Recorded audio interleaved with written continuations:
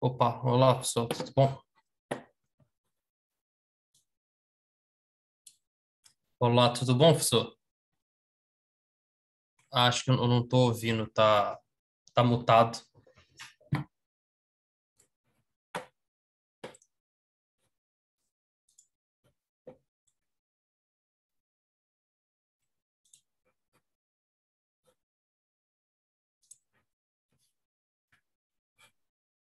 Opa, Oi, pronto. me ouvindo? Tô, tô.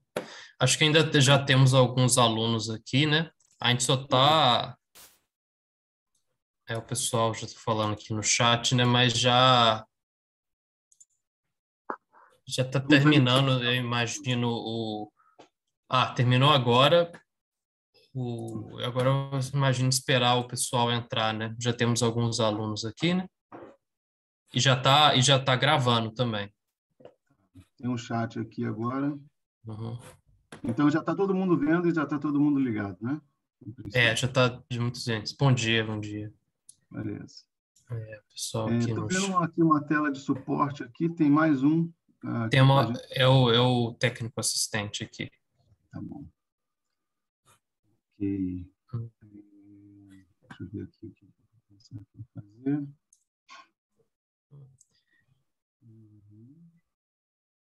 É... Estão perguntando a presença vai ser registrada. A presença vai ser registrada pelo próprio link que vocês usaram. Quando você clicou, já registra a presença. Não sei quem que está entrando. Sou eu, sou eu. Bom ah, dia. pessoal. Bom dia. Bom dia, Bom dia, bom dia. Bom dia, Vitor. Tudo bem? Tudo bem? Joia. Bem. Nós estamos só nós aqui ou a gente já está sendo transmitido? Só Já está saber. sendo transmitido, já tem 17 Já tá. alunos. Ok. Agora tá 18 estão, estão entrando. Tá ótimo. Está todo mundo se conectando. aí. Aí vocês podem dar a introdução é, e, e depois só para eu orientar, né, depois para fazer as perguntas, né, pelo É, deixa eu fazer uma pergunta. O Francisco está respondendo pelo chat, né? Também, às vezes, algumas perguntas dessas podem ser respondidas pelo Francisco. pelo chat. é. Sim. Mas aí eu queria só pedir para os alunos para quando fazer as perguntas podem ser feitas, né, a qualquer momento, né? Mas se, se vocês puderem fazer pela do lado do ícone do chat tem um Q&A, né? Q&A de, de perguntas, é questions and answers. Se vocês puderem fazer as perguntas por lá, que aí eu organizo. aqui, eu vou me mutar aqui para ver se está funcionando. Uhum. Eu organizo elas melhores. É, mas também, se quiser falar alguma coisa no chat, também tá tranquilo. Mas o, Para, tá certo. as, per- uhum. as perguntas da aula seriam interessantes fazer pelo, pelo esse Q&A. Ah, tá aqui, o Q&A está do lado aqui. Isso. Deixa eu olhar. Ah. Ok, estou vendo aqui. Bom, provavelmente daqui eu também posso responder ali ou responder pelo chat também. Mas, provavelmente, quando eu estou apresentando, eu tenho pouco acesso a essas duas ferramentas. Aí talvez o Francisco possa me alertar, a gente já conversou Eu- ontem. Né? Aí eu dou uma pausa e respondo para conversar, porque o número, em princípio, o número, o número é dez vezes maior do que normalmente a gente tem tinha esperado. Então, é, vai ter que ser um pouco vai ser um pouco tricky aí, mas o Francisco vai vai nos ajudar Sim, e sim. vai ser interessante. Vai ser interessante. A gente tem de Estão 10 a meio-dia. Estão entrando alguns alunos ainda, temos 27 aqui. Talvez esperar um pouquinho para. Sim, sim. Vamos, vamos dar uns, Já, já tem o número que eu tinha imaginado. vamos dar uns dois, três minutinhos. É, não, a, nós tivemos aí uma, uma procura grande, né, Vitor? Então, assim, foi até surpreendente. E acho que um lado bom. Sim, claro, claro, claro. Eu espero que. Aqui estão perguntando se a aula será disponibilizada depois. O Francisco sabe se no chat aqui, acho que já respondeu. Eu, né? ah, eu estou até respondendo aqui. É... elas vão ser disponibilizadas, eu imagino, depois pelo próprio site do Prof. Senna. Ele está sendo gravado aqui. Eu imagino que depois pelo próprio site, né, naqueles links de cada aula vão ter. Mas eu não sei quando, assim, talvez demore um pouco. Né? Não seja Sim, imediato é. amanhã. É, o, o, eu acho que o, a procura também se deve, isso aconteceu também na nossa instituição, né? É, os nossos laboratórios ficaram interrompidos e, no caso do nosso, por exemplo, os laboratórios de mecânica foram todos feitos por videoanálise. Inclusive, de, de física moderna, com Millikan, por exemplo, também foi feito por videoanálise. É o que eu vou ah, comentar Millikan, também. Legal. É, que ele é bem bacana mesmo. É, é, é, um, é um terror aquele experimento, né? então, ele, ele, é, ele, é, ele é gravado, né? A gente tem a gente filma, na verdade eu filmo. Uhum. Você tem que ter um pouco de aí um pouco de traquejo ali, né? Tem que fazer uns testes. A gente filma com baixa, um baixo frame por segundo. A gente comprou uma câmerazinha para botar lá. Uhum. E aí você filma com em vez de ter 30 frames por segundo, a gente filma em torno de você 10. Você conta as gotinhas, você consegue ver as gotinhas, né? Isso. A câmera filma em baixa, em baixa, em baixa taxa. Mas ela tem boa resolução e como as gotas se movem não são tão rápidas, é possível que a gente consiga fazer esse experimento é, ali. Então, o que, que eu faço? Eu distribuo para os alunos de Moderna o... Vocês estão me escutando? Porque a minha imagem travou aqui. Estou escutando. Ah, tá.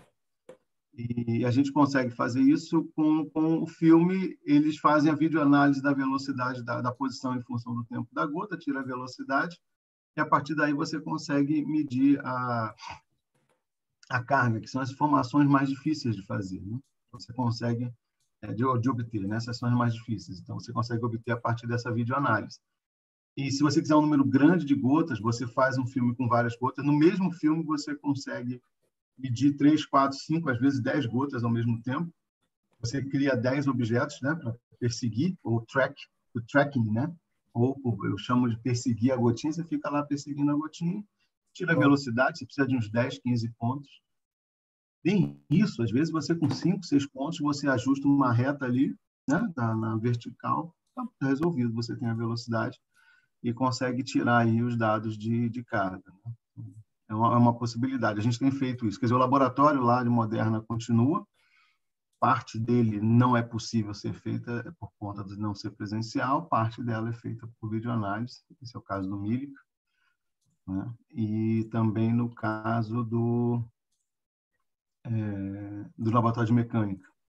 E também é possível fazer em eletromagnetismo. É, é possível fazer em eletromagnetismo onde você faz a videoanálise do ponteiro analógico. Então, se você tem um circuito RC que está carregando, descarregando, basta você filmar o analógico, você filma o sensor analógico, e em função do tempo você calibra ali com uma variável angular, né? você faz uma variável angular ali, e ela, a variável angular está proporcional à voltagem que você está lendo, a corrente que você está lendo, e aí você compara com o seu modelo teórico. Então, isso é, um, é, um, é uma possibilidade de, de, de realizar a, a, videoanálise em eletromagnetismo. Inclusive, não tem um experimento interessante, tem um aluno de mestrado que está fazendo essa parte, que é por fora. Ele deixa um, um, uma parte com uma barra de alumínio e coloca um ímã descendo, né, que está grudadinho, e desce bem devagar. É possível você fazer a videoanálise e aí tentar, né, o melhor modelo teórico possível para explicar a indução e aí você vai você na verdade vai ter o trabalho inverso né? Você tem o dado experimental precisa encontrar o teu melhor modelo para se ajustar ali. É uma coisa que no laboratório hoje você não tem. Você, você explica isso qualitativamente mas é possível ser um pouco melhor que qualitativo ser semi qualitativo você tentar ajustar uma curva. É bem interessante. Essa é a nossa é. próxima tentativa, laboratório de eletromagnetismo. Ou até tem dois comentários aqui do Alexandre Pacheco, ele falou que o movimento browniano também pode ser analisado, é uma boa ideia também. Sim, sim, sim, também é possível. No chat aqui, né? No mesmo experimento do Millikan, quando você filma, é, você pode fazer análise do movimento browniano. são, são mais sofisticados, né? Estou falando do caso do Millikan, é mais simples, o movimento browniano é um pouco mais sofisticado, você precisa ter um é, atuar ali um pouquinho, mas é sim, é possível. Tem coisas interessantes. A ideia, a ideia é, desse mini curso, ela, ela está na, na no estímulo para quem nunca fez videoanálise, ter o estímulo de começar a fazer a videoanálise. Não é a ideia não é chegar na sexta-feira como expert nisso, não é essa a ideia, mas que você se estimule a começar, tire as dúvidas mais fundamentais e a partir daí você mesmo né, se embrenhe por esse caminho, tente fazer as próprias videoanálises. E aí tem um canal de dúvidas, quer dizer, essas dúvidas aparecem, e como tem bastante gente que já, como a Diana falou, do movimento browniano, é importante é, fazer esse, tipo de coisa. A ideia, principalmente, aqui, ela está voltada para o professor do ensino médio, para realizar experimentos razoavelmente simples, que possa utilizar, por exemplo, no caso que a gente está fazendo, no caso que você não tem, não é presencial, então isso facilita um pouco. É, também a ideia é tentar é, olhar para o vídeo que um estudante faça, quer dizer, ele pode não ter grande aparato em volta dele para fazer a filmagem, mas até que até até sexta-feira eu espero mostrar, por exemplo, algumas possibilidades você mesmo num filme de smart, um smartphone que fique levemente tremido, seja possível fazer uma leve correção para que você obtenha alguns dados e esses dados sejam é, possíveis sejam melhorados, né, e daí analisados e discutidos. A ideia não é nem você se tornar um grande especialista no programa, porque eu também não sou um grande especialista do programa.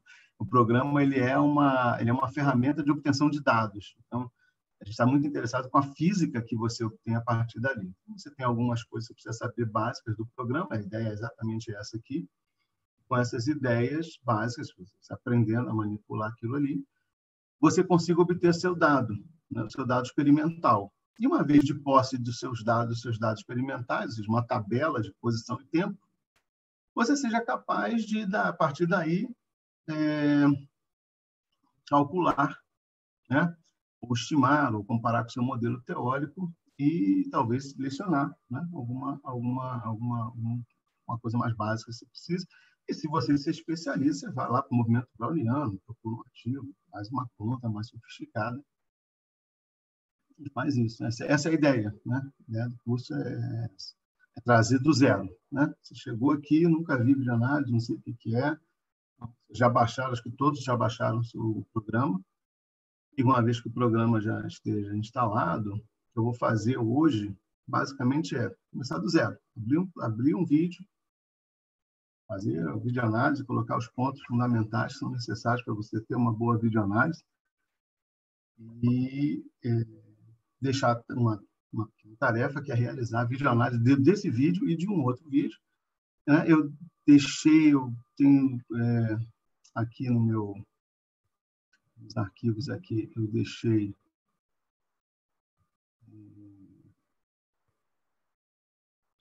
aqui. Então, então só, é, só para lembrar aqui, os alunos, caso, acho que já temos 53, né? É... Sim.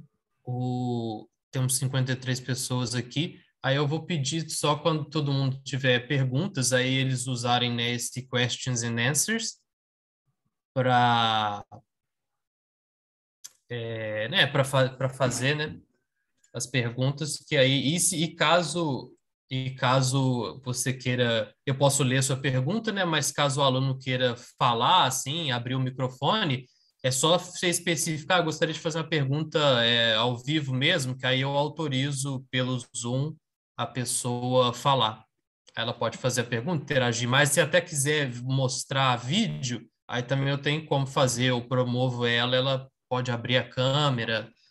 E acho que a ideia, né, quando falou professor, é ser mais dinâmico, né? Mas assim, se quiser fazer a pergunta breve, sim, eu leio no chat, ou... mas seria melhor no questions and answers. Aí eu leio e a gente faz as perguntas. Exatamente. Deixa só, antes do, do Vitor dar sequência ali, o Vitor já está fazendo a introdução, mas assim, é, de novo, né? Receber, dizer que todos são bem-vindos, a gente já está aí com 55 né, participantes, não é isso? 54, 55, está aumentando. Então, assim, o pessoal. É, bom, se você já conseguiu entrar aqui na sala do Zoom, você provavelmente já foi lá na página do Proficem, né? É, e lá na página do Proficem, deixa eu só mostrar aqui rapidinho a minha, vocês terem uma ideia. Vou projetar aqui rapidinho, tá? É... Vou pedir licença aqui, que eu vou pegar um ah, vai lá. É, a gente vocês devem, imagino que vocês estão conseguindo ver aqui o meu navegador, a tela do meu navegador. Chegou, Francisco? Chegou, né? Sim, sim, eu estou conseguindo.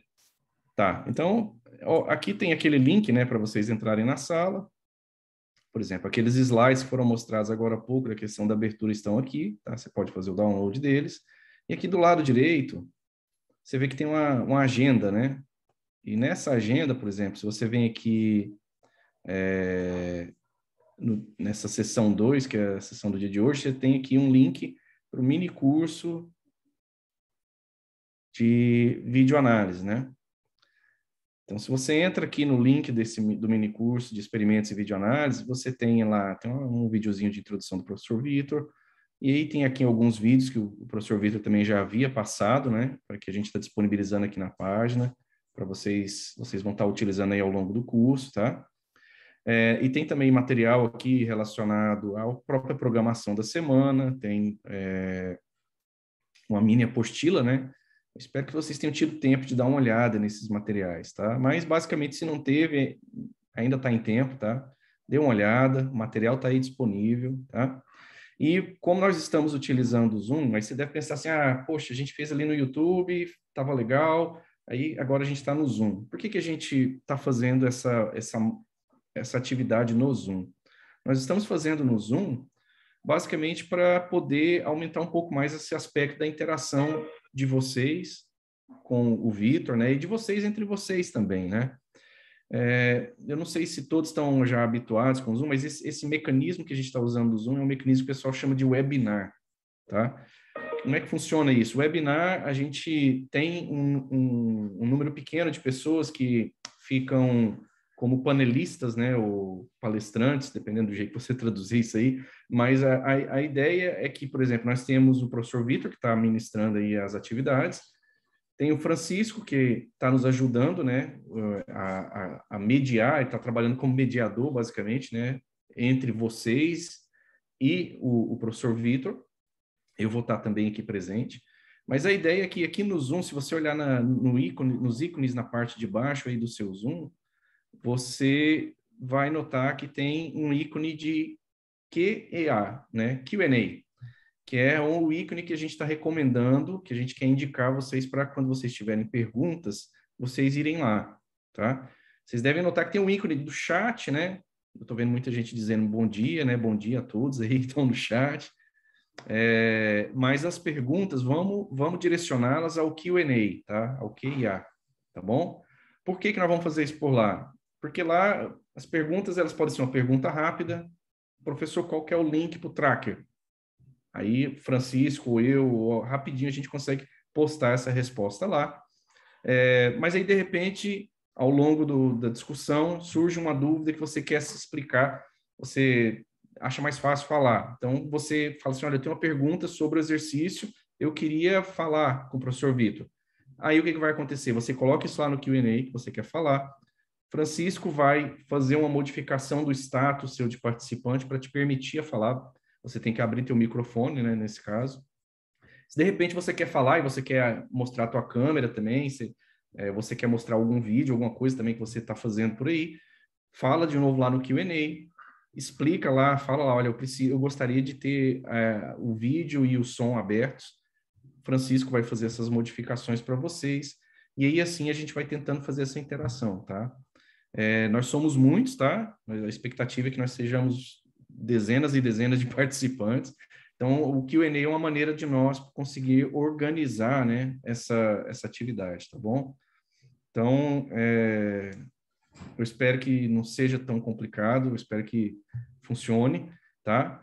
Eu vou devolver aqui a palavra a, ao professor Vitor. Então, novamente, local para você ir para fazer perguntas, comentários, vai na sessão de Q&A, tá? Bom curso para vocês, pessoal. Vitor, passar para ti. Obrigado.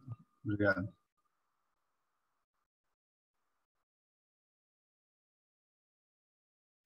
É, só uma coisa, tem, tem um, o aluno Leonardo, ele está perguntando se os links das referências, eles é como que ele acessa, né, para baixar as referências desses PDFs dos livros? Ou é só o PDF só Eles foi? Não são PDFs não, foi só uma, não, tá. só uma divulgação, não são PDF não. É só divulgação. Só divulgação. O que eu vi na página é que no, no final, lá, lá embaixo da página, né, da, da videoanálise, no final, depois de todos os vídeos, tem um resumo e programação e uma mini apostila, né? Então, tem as informações todas, eu creio que neles. Inclusive, é, eu acho que eu mandei, eu mandei um capítulo, link, é. um, capítulo 1, mandei um, é. um, resumo, tudo isso prévio por conta da necessidade de já, tá, já ter instalado, por isso que eu mandei bem antes. Então, quem se inscreveu, entrou lá, já instalou o tracker, ele já leu né, o, o, manual básico. Okay. Tem os vídeos, já, os vídeos já estão lá, os vídeos que serão utilizados, que eu vou abrir agora o que vai ficar como um, um exercício para hoje, para amanhã. E o de amanhã, para quarta-feira, também já está lá disponível. Eu já deixei tudo mais ou menos na sequência para isso. É, o, link, o link já está aí, o link estava também disponibilizado na, entrada, no post E acho que a gente pode começar. Né? Eu queria, oficialmente, vamos dizer assim, já comecei, mas eu vou repetir o que eu falei. É, eu, bom dia, é, meu nome é Vitor de Jesus, vocês estão inscritos no, no mini curso de videoanálise, né, onde eu vou usar o software Livre Tracker, mas pode ser usado qualquer outro software, seja ele livre ou não. Uh, mas o Tracker, é, pelo menos até, até onde eu conheço, é o mais usado. Eu uso o Tracker há bastante tempo. Inicialmente começou com uma curiosidade, depois foi sendo utilizado também na instituição onde eu trabalho. Eu trabalho no Instituto Federal do Rio de Janeiro, no campus Nilópolis, temos um curso de licenciatura em Física. E nós começamos a utilizar o tracker com muita frequência no laboratório de física, uh, física básica, somente no laboratório de física de mecânica, né? Isso inclui física 1, física 2. E durante esse tempo, é, eu acabei escrevendo um livro, eu livro de vocês, e também é, outros estudantes na pós-graduação começaram a utilizar, em outras universidades também, são um programa utilizado há muito tempo, vários lugares utilizam. A gente criou uma sistemática de utilizar no laboratório e também em algumas escolas de ensino médio, alguns nossos estudantes também utilizam, com um certo é, sucesso. Agora, na pandemia, é, para nós, lá no Instituto, por exemplo, é, salvou todos os laboratórios de mecânica boa parte já tinha sido aplicado, os alunos já têm conhecimento da técnica, isso facilitou bastante a, o aprendizado, porque a gente filma um determinado experimento envia para os estudantes, eles podem fazer a, a, a análise, né, a videoanálise. Eu quero deixar claro aqui, acho que dois pontos são, são interessantes deixar claro nesse, nesse mini curso. Né? O primeiro deles é que a ideia é que não é para ninguém sair daqui especialista em análise em uma semana, mas certamente aquelas pessoas que se dedicarem ao programa, tiverem dedicação depois do curso, certamente vão seguir, vão ficar muito é, bem adaptadas ao, ao, track. Eu mesmo não sou um grande especialista em track, eu uso o track, eu já dito isso no início, o, o track, é, para mim, é uma ferramenta de obtenção de dados experimentais. E a partir do momento que eu tenho os dados experimentais, eu vou trabalhar em cima do modelo teórico que eu quero é, utilizar para explicar aquilo que foi obtido. Então, é necessário ter alguns cuidados, é isso que a gente vai tratar ao longo da semana, cuidados de filmagem, alguns... Mas são cuidados simples, aqui eu não vou entrar em, cursos de filmagem, fotografia, nada disso. A ideia é fazer o mais simples possível, é, como você, de forma mais simples possível, com cuidados mais básicos, você pode obter dados experimentais confiáveis, né, também razoavelmente precisos, e a partir daí tentar utilizar um modelo é, físico que esteja no seu interesse para ou por curiosidade própria, ou talvez para ensinar, né?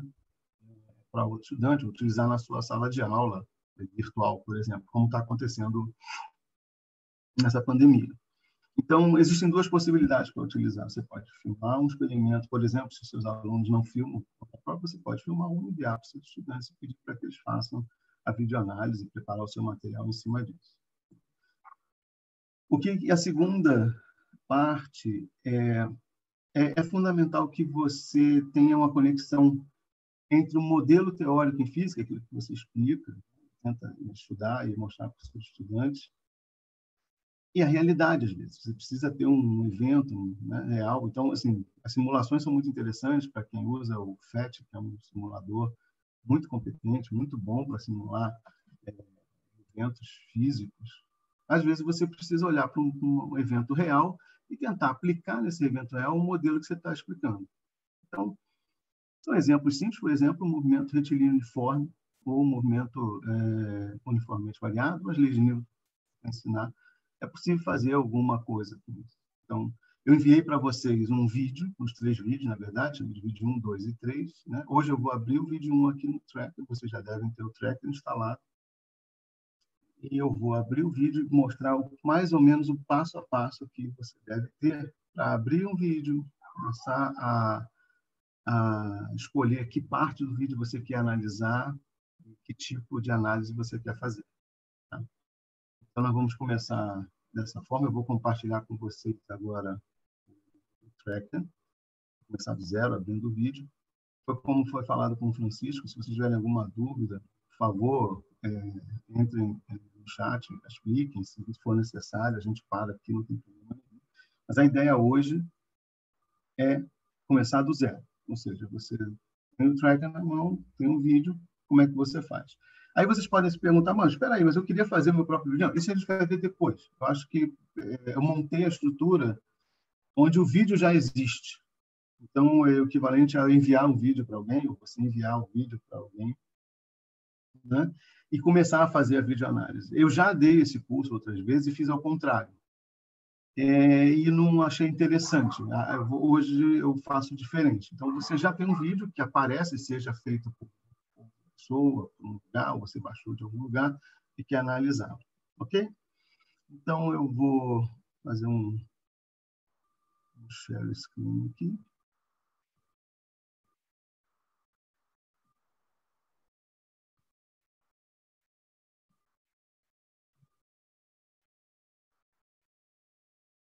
Acredito que todos estejam agora vendo é, a tela do tracker. Estou vendo aqui, está tudo certo. Tudo certo, né, Francisco? É, se todos os alunos, eu imagino que todo mundo também é, sim.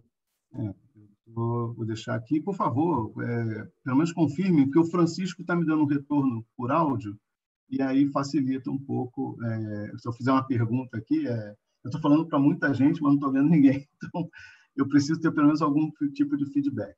É, o pessoal está vocês... falando no chat, sim. É. E eles também conseguem me ouvir. Ah, legal. Maravilha. Aqui, aqui o chat, se aparecer, ele, ele, ele, ele vai atrapalhar um pouquinho é, a minha visão. Então, é, é... Parece que está todo mundo ouvindo, sim. Muito bom.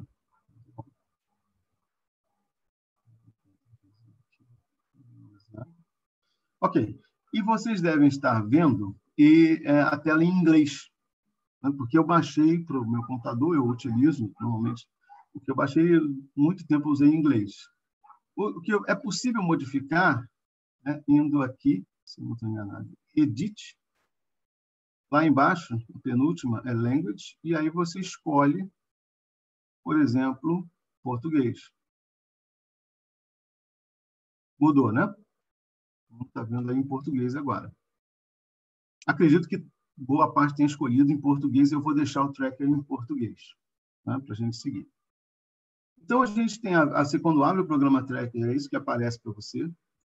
Você deve, se está interessado em fazer uma videoanálise, você vem aqui em abrir um vídeo e você vai, vai fazer a procura aqui no seu, no seu computador, esse vídeo, e hoje eu vou abrir o vídeo 1, que vocês têm. Vocês estão vendo três vídeos, eu tenho certeza que vocês já baixaram esses três vídeos. Eu vou abrir o primeiro agora, a gente vai fazer uma videoanálise juntos. E hoje, a ideia é a gente fazer essa videoanálise com muita calma, sem pressa, e tirando as dúvidas de vocês ao longo do processo. Então, não fiquem... É, tem perguntas, mande a pergunta, o Francisco me avisa, eu paro, volto e faço sequência. Bom, então eu tenho aqui o vídeo 1, vou abrir o vídeo.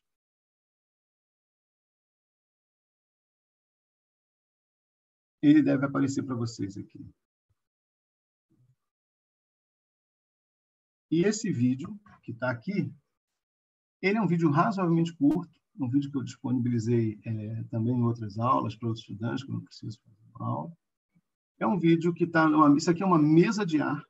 Né? Vocês devem ver os furinhos que estão aqui. Então, a primeira coisa que a gente pode olhar aqui é nessa lupa, né? que chama-se ferramenta de zoom. Se você quiser, você clica nela, você pode aumentar para 200. Você já deve estar vendo os pontinhos aí, bem pequenininhos. Aumentei aqui, esses pontos agora são visíveis. Eles são pontos em que um, um estudante, é, essa mesa de ar foi construída, é, foi construída por um estudante na, na UFRJ. Ele fez esses furinhos aí, tudinho na máquina de furar, montou uma mesa de madeira, colocou o aspirador reverso e ela sopra o ar e faz com que pequenos objetos, objetos muito leves, como por exemplo um puck, o puck, que é um objeto pequenininho, redondinho, como se você tivesse aquele jogo de shopping, a mesa de ar. Né? Então esse objeto flutua se isso aqui estiver ligado. Então a filmagem foi feita, né? é o, o smartphone está a um metro de altura dessa dessa mesa, foi colocado um, uma açãozinha de tal é, e o celular está em cima e ele filma esse momento. O momento é muito simples. Eu vou ali, coloco esse PUC, eu vou passar o vídeo e empurro isso com um transferidor. Minha mão aparece ali. Esse objeto no meio que está aqui parado, esse cilindro, é um cilindro de 3 quilos, 2 quilos, sei lá. Quando esse, obviamente, não flutua, ele está ali como um obstáculo proposital. Eu jogo esse objeto flutuante contra o obstáculo. Bom, qual é a minha ideia aqui? Vou voltar, acho que vocês viram, eu vou passar agora quadro a quadro o que aconteceu. Vocês devem estar vendo se mexer, vou passar devagar. Vocês devem estar vendo aqui do lado 4, o número 4. Esse número 4 indica que é o quarto frame, ou seja, o que é um vídeo? Um vídeo nada mais é do que um conjunto de fotos ou frames. E um vídeo é, é você escolhe em que é, em que taxa você vai passar esses frames. Então, esse vídeo foi feito a uma taxa de é, 30 frames é, por segundo. E aqui eu tenho o número de frames que foram utilizados. Então, eu vou seguir. O quinto frame, sexto, sétimo. Ele aparece aqui no canto da tela para quem viu. O oitavo frame aparece já e o nono frame ele aparece aqui. Então, é, eu tenho agora, o que, que, eu, que, que esse programa permite? Que você passe quadro a quadro, ou frame by frame, o que você filmou. Esse experimento é um experimento é, razoavelmente curto. Né? Você já percebeu aqui que vou ter mais décimo, décimo primeiro, décimo segundo, décimo terceiro, décimo quarto frame, e o 15 frame. E no 16 frame, esse objeto parece ter mudado a sua direção. Veja que eu posso voltar, eu vou clicar aqui ó, nesse passo anterior. Aqui, esse 1 que vocês estão vendo é o tamanho do pulo, ou seja, a cada quanto, qual é o seu, seu, o seu passo a passo? Você vai passar realmente um, um, quadro a quadro ou você vai mudar? Se você clicar aqui, você vai aparecer dois, três, quatro, cinco. Ou seja, você vai pular a cada cinco quadros ou a cada dois quadros é uma escolha sua, que depende do que você está é, investigando. Se eu pular quadro aqui, eu vou perder informação nesse experimento. Mas se fosse um experimento em que isso se movesse muito lentamente, talvez fosse interessante eu pular 10 quadros. Mas não é esse o caso. Então, eu vou manter aqui, eu paro o mouse aqui em cima, o tamanho do pulo eu vou manter em 1. Então, eu vou voltar, eu passo anterior aqui, eu volto, volto mais um frame, então eu vou para o quadro 14, e eu vejo que eu não consigo ter uma foto ou um quadro em que esse objeto realmente toque no, no cilindro. Mas eu sei que daqui para cá houve uma colisão e há, portanto, um desvio desse objeto. E ele segue é, em outra direção. Bom, é, só o fato, né, eu sair do, do, do frame, e eu mesmo estou anotando aqui, né, sair do frame 9 estou no frame 20, no frame 21 ele já desapareceu. Então, o meu, a minha investigação, eu diria que a investigação ela, ela se passa desde o frame, entre o frame 9 e o frame 20. Isso significa que eu tenho aproximadamente eu tenho, eu tenho 11 frames para analisar. E cada frame, como você tem uma taxa de filmagem a cada 30, 30 frames por segundo, eu tenho aí aproximadamente um terço de segundo do experimento. E com isso, é possível, por exemplo, ensinar é, a primeira e a segunda lei de Newton. Como? Bom, se você não tivesse interessado numa análise quantitativa, só o fato de você ter um vídeo e poder voltar e seguir com o vídeo falando um pouco sobre o que está acontecendo, é uma aula qualitativa sobre esse princípio. A gente pode fazer isso. Mas, mesmo que a gente queira fazer agora, é interessante que a gente limite a nossa avaliação. É importante que a gente limite o nosso, o, o, onde a gente vai começar e aonde a gente vai terminar. Então, é, o que eu diria a você é: vamos fazer o seguinte. Eu vou aqui, nesse ícone chamado ajuste de corte de vídeo. Está todo mundo vendo? Tá aqui, ajuste de corte de vídeo. Está todo mundo sim, está tá vendo sim. Estão acompanhando, né? Está dando tempo de ver. Eu estou indo bem devagar para que a gente tenha tempo de aparecer. O que aparece na minha tela tem o tempo, tem um delay, mas que ele apareça para vocês. É... Então, quando eu clico aqui nesse ícone, aparece aqui, ó, quadro inicial, tamanho do intervalo, ou seja, é aquele pulo, se você vai andar um quadro por vez, ou dois ou três, e o quadro final. Então, aqui o que, que eu faço? Eu escrevo 9, porque eu anotei aqui no meu papel, eu sei que é o quadro 9, vou manter o intervalo 1 e vou escrever aqui o meu quadro final como 20 que significa isso? Que agora é, travou. Vocês vão observar embaixo que eu tenho dois, duas setinhas e elas estão naquela barra onde o vídeo corre, ela está tá, tá mostrando um início e o final. Então, está limitada a videoanálise agora ao quadro 9 até o quadro 20. A outra coisa, né? o quadro, o tempo de início, o, o, a, o intervalo de cada quadro, aqui tem a taxa de quadros por segundo que você filmou. Então, normalmente é lida automaticamente. Você, você faz o vídeo, ele lê e você encontra a taxa de quadros por segundo que você está interessado. Então, aqui eu tenho 30 frames por segundo.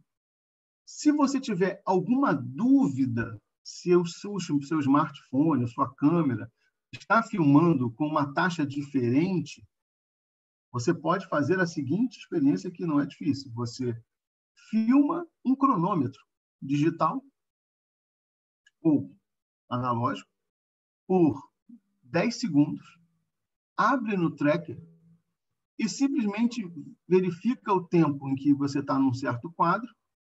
Depois de 4 segundos ou 3 segundos, você verifica que outro frame você está lendo.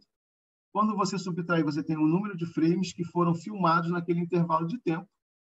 Você divide esse número de frames pelo intervalo de tempo que você estava investigando, e você vai ter a taxa real de quadros, a taxa média de quadros por segundo que você está medindo. Eu sempre faço isso quando eu estou com uma câmera que eu não conheço, ou se eu estou no modo, por exemplo, se você for filmar em slow motion no seu celular.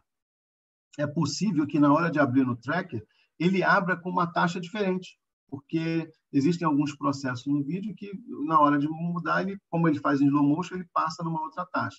Mas o vídeo realmente foi gravado naquilo, naquele, naquela taxa que você está tá sendo apresentada, a sua dúvida é tirada filmando um relógio analógico digital, um cronômetro, na verdade, por cinco segundos, e aí você faz essa continha e está resolvido o seu problema. Ok? É, professor, tem uma Sim. pergunta aqui. É, como que faz para chegar mesmo nessa janela ajustes de corte? Tá bom, eu vou então aceitar aqui. Olha, eu vou cancelar e vou fazer de novo. Então, cancelei. E não fiz o corte nenhum, tá vendo? Agora eu vou com o mouse. Eu vou, aqui o primeiro é abrir vídeo, salvar, abrir biblioteca digital, eu não estou usando, exportar um arquivo zip, também não estou usando, está aqui. Ajuste de corte de vídeo. Tudo bem? Matou a dúvida? Ok, ok, ele viu, entendeu. Ok. É... É, então, aqui em cima, se você andar aqui, você tem é, vídeo, arquivo, como é que você edita. Eu normalmente uso a, a, a, aqui os ícones, porque os ícones são mais simples de você é, acessar. Então, quando eu venho aqui, ó, ajuste de corte de vídeo abriu. Quando ele abre, eu já tinha notado aqui, vocês também, eu começo no quadro 9 e eu vou terminar a análise no quadro 20. E estava comentando sobre a taxa de frames por segundo. Ela é 30 frames, o vídeo realmente foi, foi, foi filmado em 30 frames por segundo. Eu mantenho essa taxa de 30 frames por segundo aqui e eu aceito. Quando eu aceito, veja que aqui está modificado. Está aqui no quadro inicial e aqui o final. Se você quiser, você também pode clicar aqui e arrastar para um lado e arrastar para o outro, ao invés de ir lá em cima. Eu gosto de ir lá em cima porque eu anoto antes, eu tenho é um outro, uma maneira de fazer, mas veja que eu modifiquei aqui. E se você modificar, vamos supor que eu tenha trazido para cá, quando eu clico de novo lá, aparece agora que o quadro final é 17. Mas o que eu quero mesmo é o quadro 20. Eu aceito aqui. Até aqui alguma dúvida?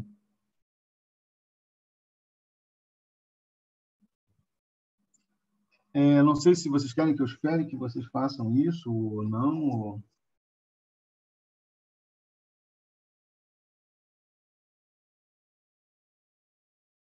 Francisco, tem alguma notícia? É, não, parece que o pessoal tá não teve nenhum, tá, tá acompanhando até agora. Ok, então vamos seguir. Está tá, tá dando para acompanhar. Tá dando para acompanhar? Caso assim, le lembrando, é, é, Ah, não, tem uma. É, tem uma pergunta aqui da, da, da Nathalie.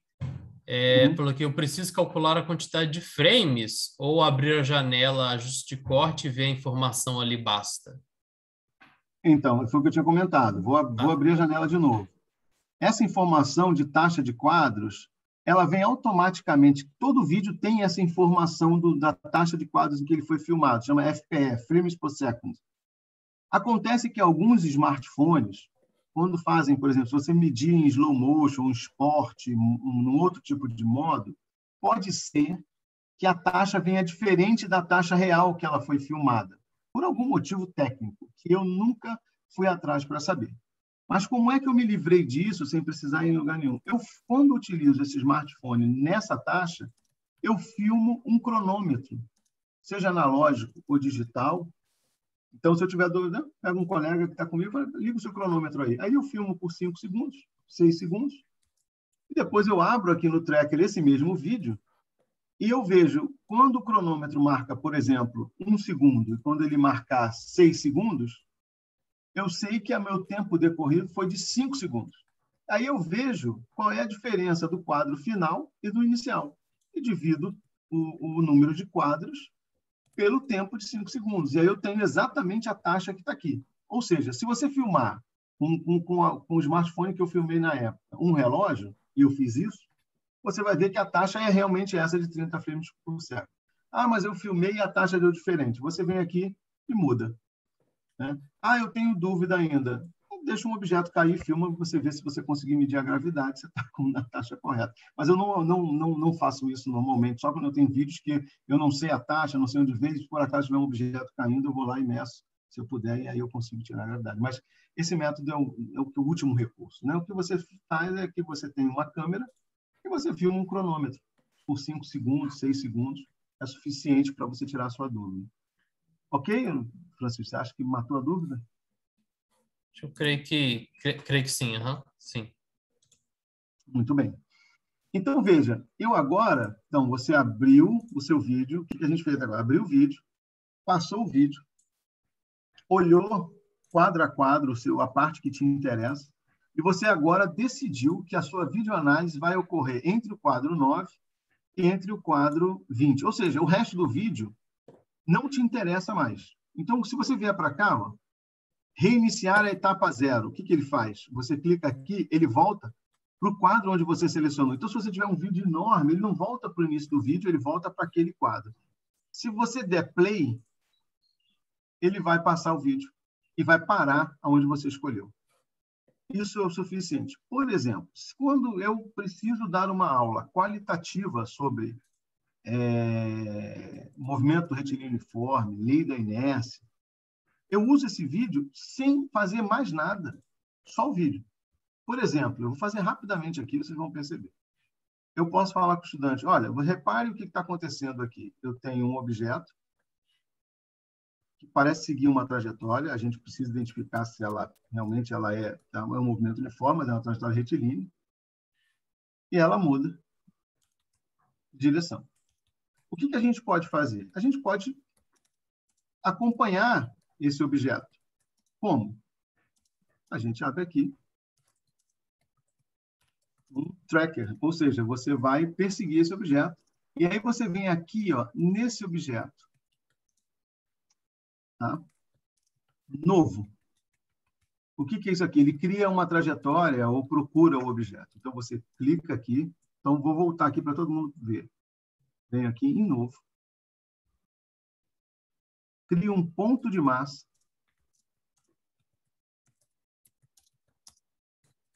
e esse ponto de massa está criado. Então, vou clicar nele aqui, você vê que aparecem várias opções nele. Eu não faço nada. O mais simples que eu posso fazer, ah, tem aqui o marcar automático. Tem, eu não uso. Não vou usar agora. Talvez use lá no final do curso. Mas não quero falar nisso agora. Que é a chamada trajetória automática. Não, vamos fazer na mão. São poucos pontos. Então, uma vez clicado aqui, você clicou aqui em cima, olhou, não faz nada. Você traz o mouse para perto do objeto onde você quer, que é aqui. Tem uma linhazinha aqui, tá? Parece um... É, isso aqui, na verdade, esse objeto é furado, um. Mas essa linha mostra um rastro, ou seja, é o tempo que você bate uma foto em movimento, é aquele rastro que fica do movimento. Então, eu vou apertar a tecla Shift e aí ele muda como se fosse um, um, um alvozinho quadrado. Depois disso, você clica no seu mouse e marcou o primeiro ponto. O objeto marca o ponto zero, o primeiro ponto que você marcou, e automaticamente o track pula para o outro quadro. E olha o que aconteceu aqui do lado. Apareceu um gráfico de x e t. Apareceu aqui um instante de tempo zero e uma posição e uma outra posição, x e y, que eu ainda não discuti e também não vou discutir agora. Mas é isso que acontece. Eu estou marcando o meu vídeo. Aí eu aperto Shift de novo e não vou fazer muita força para procurar, vou marcar em perto desse ponto que eu estou olhando aqui. Aparece um segundo ponto. Vou marcar Shift de novo, um segundo ponto, outro, outro, e vou perseguindo o objeto, ou tracking. O objeto, é por isso que o programa é tracking. Aí, aperto Shift, vou atrás do objeto, automático ele pula para o outro quadro, automaticamente. Mais um, mais um, mais um, está quase acabando, Mais um. Acabou. Então, o que, que vocês estão vendo? Eu não falei de escala, não falei de sistema de coordenadas, nada. Eu só marquei a posição do objeto a cada quadro. Com isso, olha o que aconteceu aqui do lado. Apareceu uma tabela de posição, coordenada x, coordenada y e tempo. Que até agora eu não disse se ela está correta ou não. Só apareceu isso. E eu posso vir aqui, estão vendo aqui, em traços, logo depois da lupa, posso clicar aqui no traço e botar sem traço, então some tudo. Posso colocar alguns traços, ele mostra só os últimos pontos que eu marquei. Posso botar muitos traços, e aí eu vejo todos, quase todos, e posso botar todos os traços. E aí realmente eu estou vendo tudo. Ainda eu posso clicar aqui em exibir e esconder trajetórias, que é uma linha, então ele simplesmente liga os pontos. E olha, é mais ou menos isso que eu preciso para uma aula antes e depois da colisão qualitativa, não uma aula quantitativa. Por que, que eu estou dizendo isso? Eu incluí essa fala durante os minicursos de videoanálise, porque eu sei que tem, existem dificuldades, às vezes, matemáticas dos estudantes, dificuldade de entendimento com relação a cálculo de, de inclinação de reta, para tirar a velocidade, tudo isso. Mas aqui tem uma coisa muito básica. Por exemplo, você fica claro que do ponto zero, que a gente chama de zero, até o mais ou menos o 5 ou 6, se você parar no 5 por prudência, você verifica que esse objeto, como a gente sabe que os frames pulam em tempos iguais, instantes de tempos iguais, e vocês sabem disso olhando para cá, ó, olha, que tá, olha eu marquei, todo mundo está vendo aqui, 0,033 segundos. Esse é o intervalo de tempo de uma filmagem que foi feita a 30 frames por segundo, porque 0,033333 é exatamente 1 sobre 30. Então, esse é o intervalo entre uma foto e outra, entre um quadro e outro. Tanto que o próximo é 0,067, na verdade é 0,0666. O outro aqui seria 09999, que aqui está aproximado para 0,10. Então, você pode mostrar para o seu estudante o seguinte, olha, cada ponto desse, de um intervalo de um ponto para o outro, se passa um intervalo de tempo idêntico. Então, entre, entre um e o 2, se passa o mesmo intervalo entre o 2 e o 3, 3 e o 4 e 3 e o 5. Se você observar, visualmente é possível dizer com alguma segurança de que esse objeto percorre distâncias iguais em intervalos de tempos iguais. E ele está percorrendo em uma linha reta. Logo, até mais ou menos o ponto 5, existe um movimento que tem velocidade constante e é retilíneo. Esse é um movimento retilíneo uniforme. Esse objeto, pelo menos durante esse intervalo, está nesse estado de inércia. Esse estado de inércia é, o que é inércia? Né? Ou você está em repouso ou em movimento retilíneo uniforme. Então, realmente, esse objeto, esse PUC, está entre o 0 e o 5, e eu diria ali perto do 6, um pouco mais difícil de dizer, mas eu diria que quase isso, está em movimento retilíneo uniforme. Então, ele está em estado de inércia. E, se você volta um pouquinho, a gente pode voltar aqui agora no quadro, você vai, posso voltar para o zero. Então, eu diria que 1, 2, 3, 4, 5, com certeza, até aí, eu tenho um único estado desse objeto de movimento. E, de repente, ele muda a direção dele. Eu diria até que ele muda a direção, mas nem muda tanto a velocidade. Por quê? Porque eu diria entre o 8, seguramente, entre o 7, desculpa, 7 e o 8, 8 e 9, 9 e 10 e 10 e 11, ele percorre distâncias iguais em tempos iguais, então ele está de novo num movimento uniforme e retilíneo, só que numa direção diferente da inicial. Então, o que ocorreu? Né? Que mistério ocorreu? Né? O que, que aconteceu aqui, mais ou menos, eu diria aqui, nesse intervalo perto entre o 6 e o 7? O que ocorreu é que houve a ação externa que tirou aquele esse objeto do seu estado de inércia inicial, que era o estado entre o 0 e o 6, e o colocou num outro estado de inércia, que é esse estado entre o 7, 8, 9, 10 e 11. Então, parece que esse, o causador disso foi a interação com esse cilindro. Então, durante um pequeno intervalo de tempo que é menor do que 1 sobre 30 segundos, houve uma interação, e essa interação foi a responsável pela mudança do estado desse objeto. E como isso é uma introdução direta à segunda lei de Newton. Porque a segunda lei de Newton diz que se há interação com forças externas, há uma força atuante, ou seja, há uma mudança de estado. Ele sai de um estado de inércia para outro. E isso é realmente o que ocorreu. Veja que a gente não fez nenhuma inferência de números, qual é a velocidade, para que velocidade foi. A única coisa que está clara é que, uma vez que mudou a direção, mesmo que a velocidade seja a mesma em módulo, houve uma mudança do estado, porque o estado de inércia é definido não só por um movimento uniforme, mas é um movimento retilíneo uniforme. Existe uma direção característica fixa com a velocidade fixa e há uma mudança nessa direção por conta de uma ação externa. Nesse caso, como o nosso sistema é só o objeto, PUC, qualquer interação com ele, ela é dita como externa. E essa interação ocorreu onde? Ocorreu aqui. Daqui para cá, num intervalo menor do que esse que a gente está estimando, mas pelo menos é o que a gente pode entender. A gente também pode introduzir aí a ideia de impulso.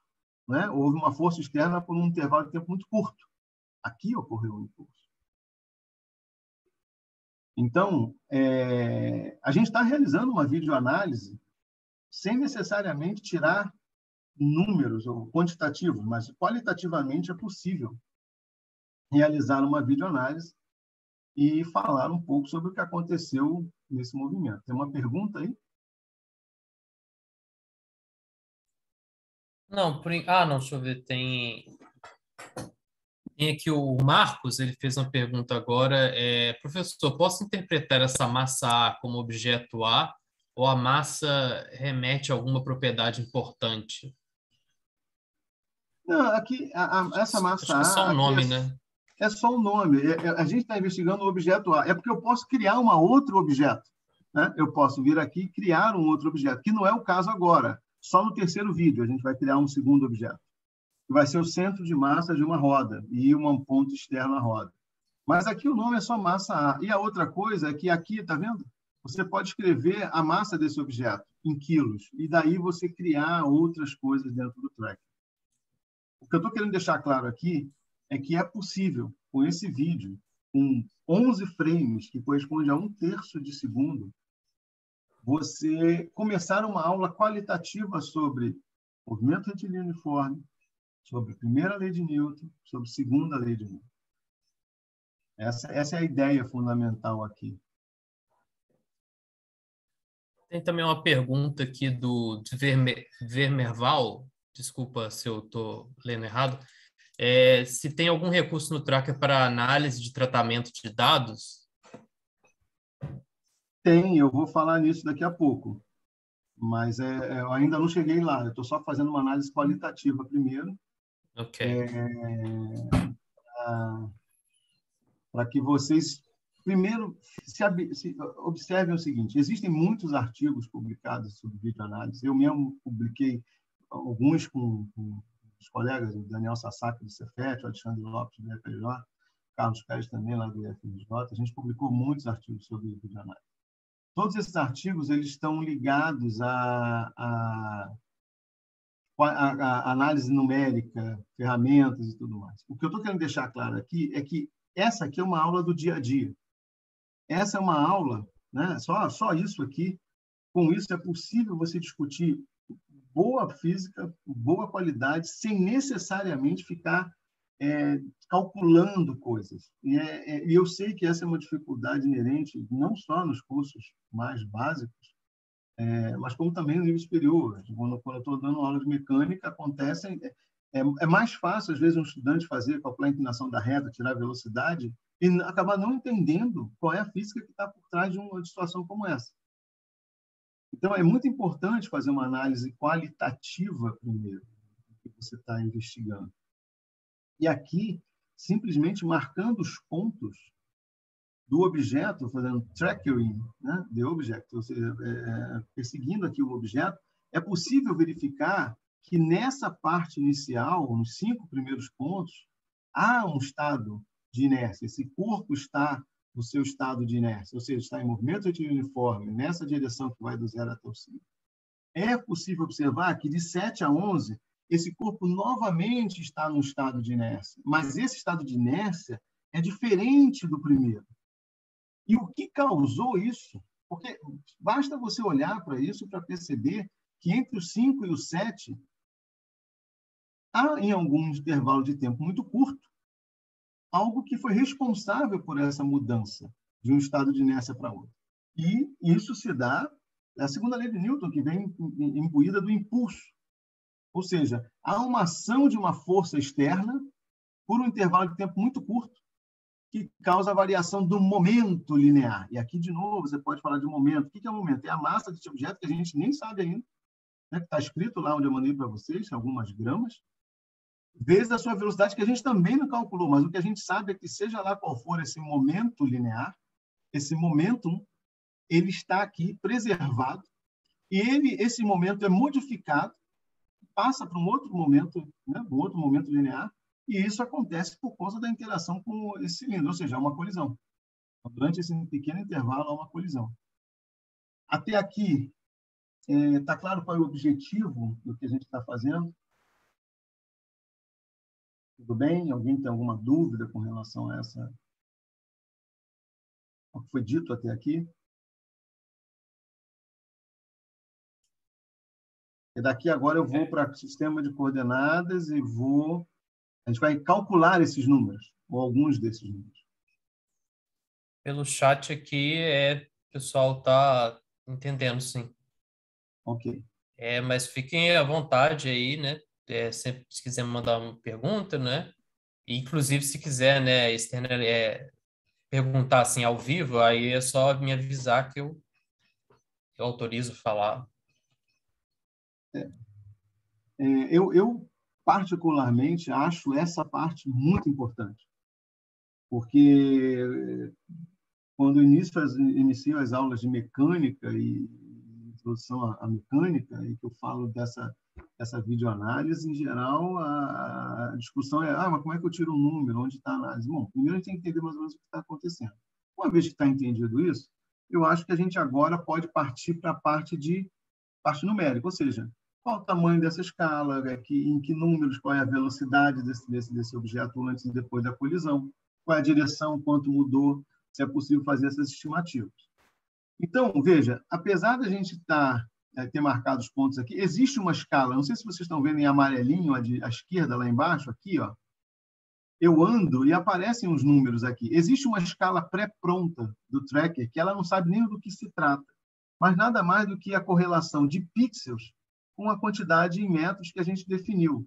Então, como é que a gente define coordenadas? A gente vem aqui, ó, nesse eixo, eixo que está aqui em rosa. O que, que é isso?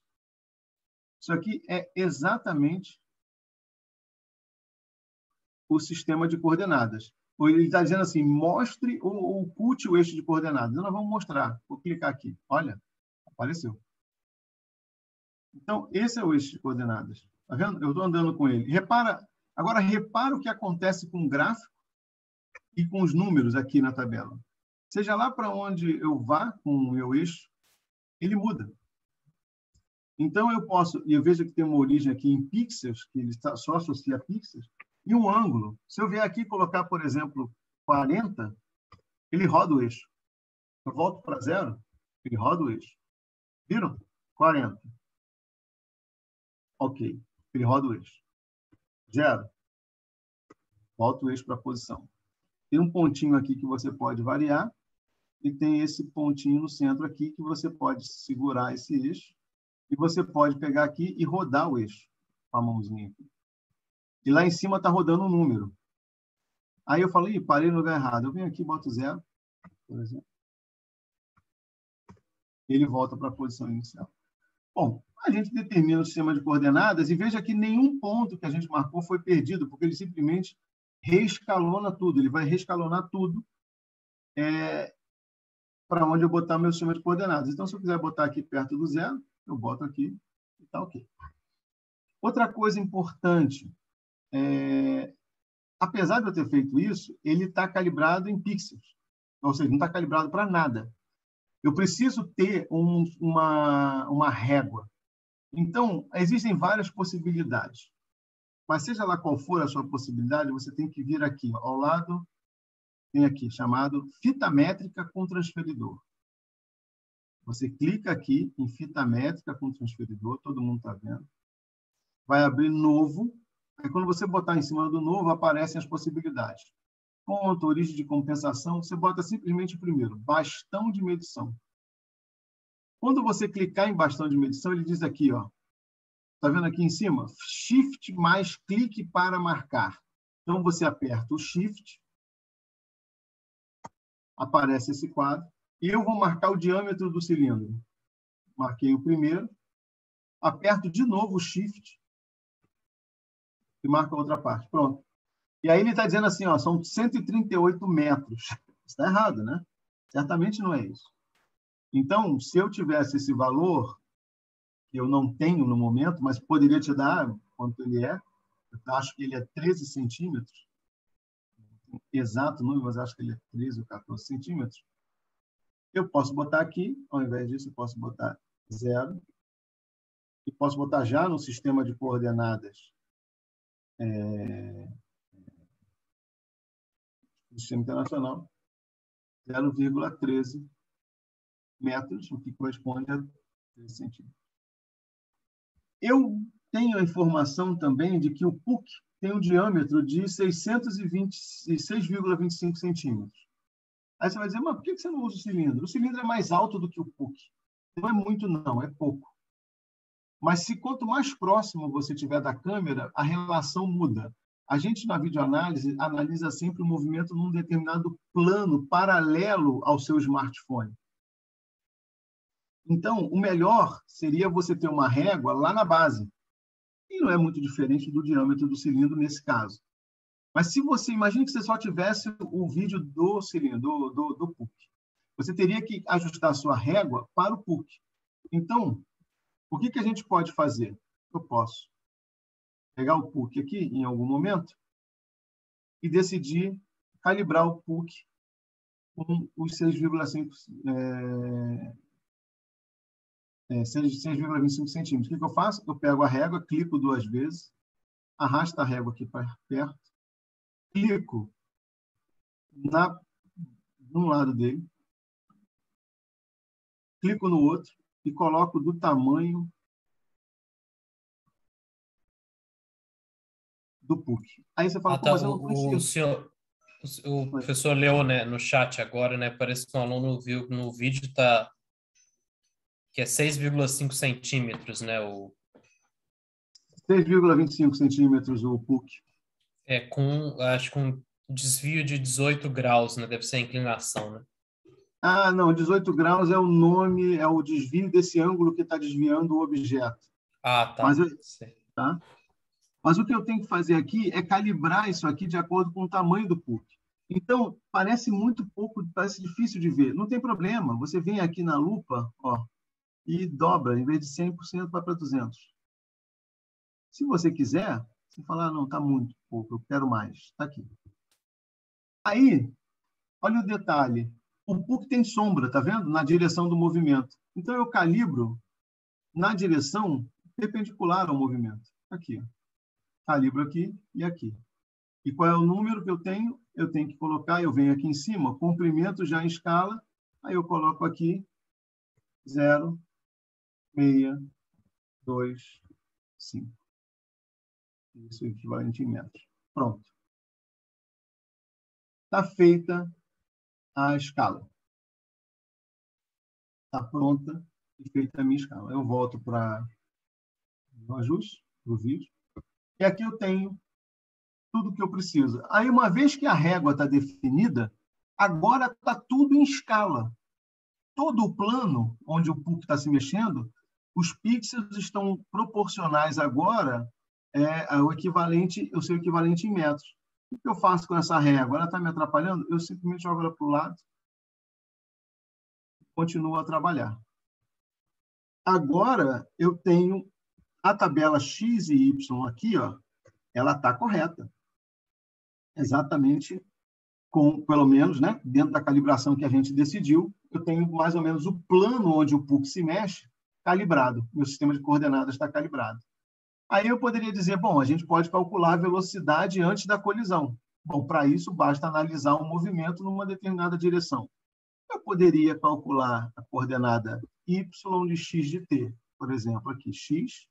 Se eu clicar aqui ó, em x, reparem, eu vou aqui no gráfico agora, paro em cima de x de y, clico, e aparecem todas as variáveis que o tracker determina para mim. Até Você pode determinar outras. Eu posso olhar y. Está vendo? Eu posso olhar, por exemplo, y em função de x. Eu vi a trajetória. Em vez de clico aqui em t e mudo para x. O que, que eu tenho? A trajetória. Posso clicar aqui e voltar para o tempo. Tá aqui. Então, o que seria mais complicado ou mais simples? Calcular a velocidade de duas componentes e depois fazer a composição? Ou eu virar o meu sistema de coordenadas e colocar em cima da, da trajetória? É o que a gente faz na aula, né? A gente vai lá no GIS e faz, não, meu eixo X é esse aqui. Então, eu vou fazer o seguinte, eu vou pegar o meu sistema de coordenadas, que está aqui, e vou girá-lo para ficar em cima, pelo menos, da primeira parte do movimento. Não ficou muito bom, né? Aí eu venho aqui em ângulo, ó. 37 foi demais? 36. Ah, 35. Olha, ficou bom. Parece bom. Parece razoável. Né? Mas 35, talvez seja 35,0? Não. 35,1. Não. 2, 3, 4, 5. Talvez. Talvez 6. 7. Acho que tá bom. 8. Ou 36.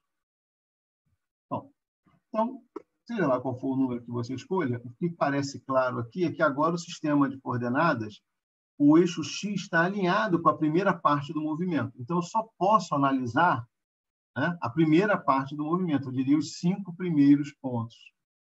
O sexto já não é muito confiável. Então, eu vou usar os cinco primeiros pontos. Bom, veja que o sistema em Y agora mudou. Eu vou aqui para o gráfico e vou para X. E olha o que eu tenho praticamente uma reta. Por quê? Porque o desvio é muito pequeno e essa mudança é pequena. Mas como eu só posso avaliar um, dois, três, quatro e cinco, eu só posso avaliar essa parte do movimento. Existem duas maneiras de fazer isso. Né? Eu optei pelo livro de pegar aqui, ó, dois, três, quatro, cinco. Então, zero, um, dois, três, quatro, cinco, seis mais um. Clicar com o botão direito copiei os dados com precisão total. Né? E aí, se eu fizer isso, eu copio isso e posso ir para o Excel e analisar só o pedaço do movimento. E aí eu saio do tracker e acabo com a minha parte, vamos dizer assim, agora nesse momento eu não preciso mais do tracker, eu sigo analisando a física que eu estou interessado, o tracker é só um instrumento, ou eu posso fazer uma análise prévia no próprio tracker, como algum, algum professor falou ali no, no durante o, o, o, processo. Você tem alguma ferramenta? Tem. E agora eu vou mostrar essa ferramenta para vocês. Essa ferramenta se chama é, Data Tool. E agora eu vou fazer o seguinte compartilhamento com vocês. Vou precisar da tela, compartilhar a tela inteira. Só um momento, por favor.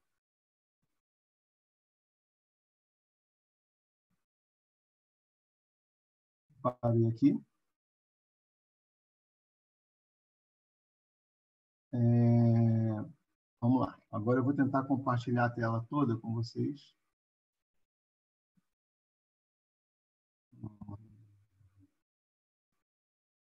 Acho que aqui é show all windows.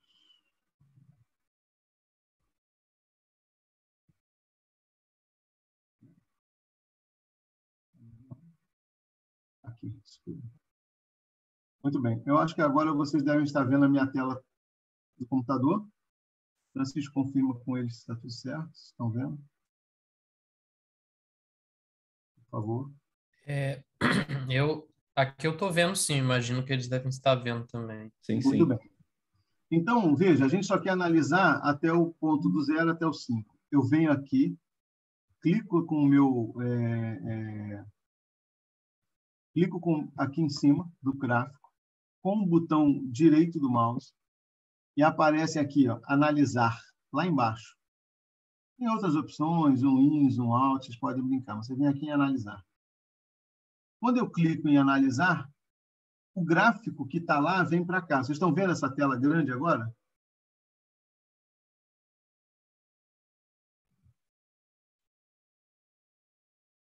Acho que estão vendo sim, o pessoal está Ok. respondendo. Maravilha. Então, tem aqui medir e analisar. Eu vou para analisar, então eu clico em analisar e vou ajustes de curva. Quando eu faço ajuste de curva, aparece aqui, ó, nome do fit, linear. Aí você tem a opção exponencial, gaussiano, parabólico, senoide. E aqui tem autofit. Aqui no nosso caso é linear.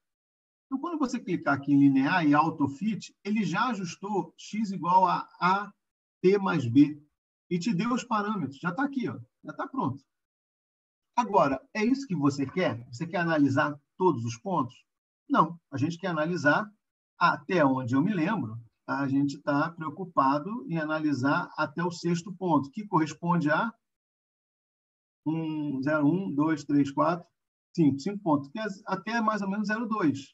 Então, o que, que você faz? Você vem aqui. Então, você 0, 1, 2, 3, 4, 5. Então, é até aqui que eu preciso calcular. Eu venho aqui ó, e seleciono com o mouse só o que eu quero analisar. Olha o que aconteceu. Eu tenho os primeiros pontos e o ajuste linear só aparece onde está marcado aqui. Ó. E veja que a reta se ajusta muito bem aos primeiros pontos, mas ela diverge para os outros, o que faz total sentido. Faz total sentido. Por quê? Primeiro, eu não estou mais medindo a velocidade total, estou medindo uma componente. Esse objeto mudou de direção. Eu não estou interessado nisso. Então, o ajuste que está aqui embaixo está me dando um número. Qual é o número? 1.993, 10 elevado a zero porque é elevado a zero, é 10 elevado a zero. Não. Então, está dizendo o seguinte, que a velocidade desse objeto, pelo menos aqui estimada, ela é de 1,99 metros por segundo. Essa é a velocidade. Então, a gente mediu a velocidade desse objeto antes da colisão. Alguma dúvida até aqui?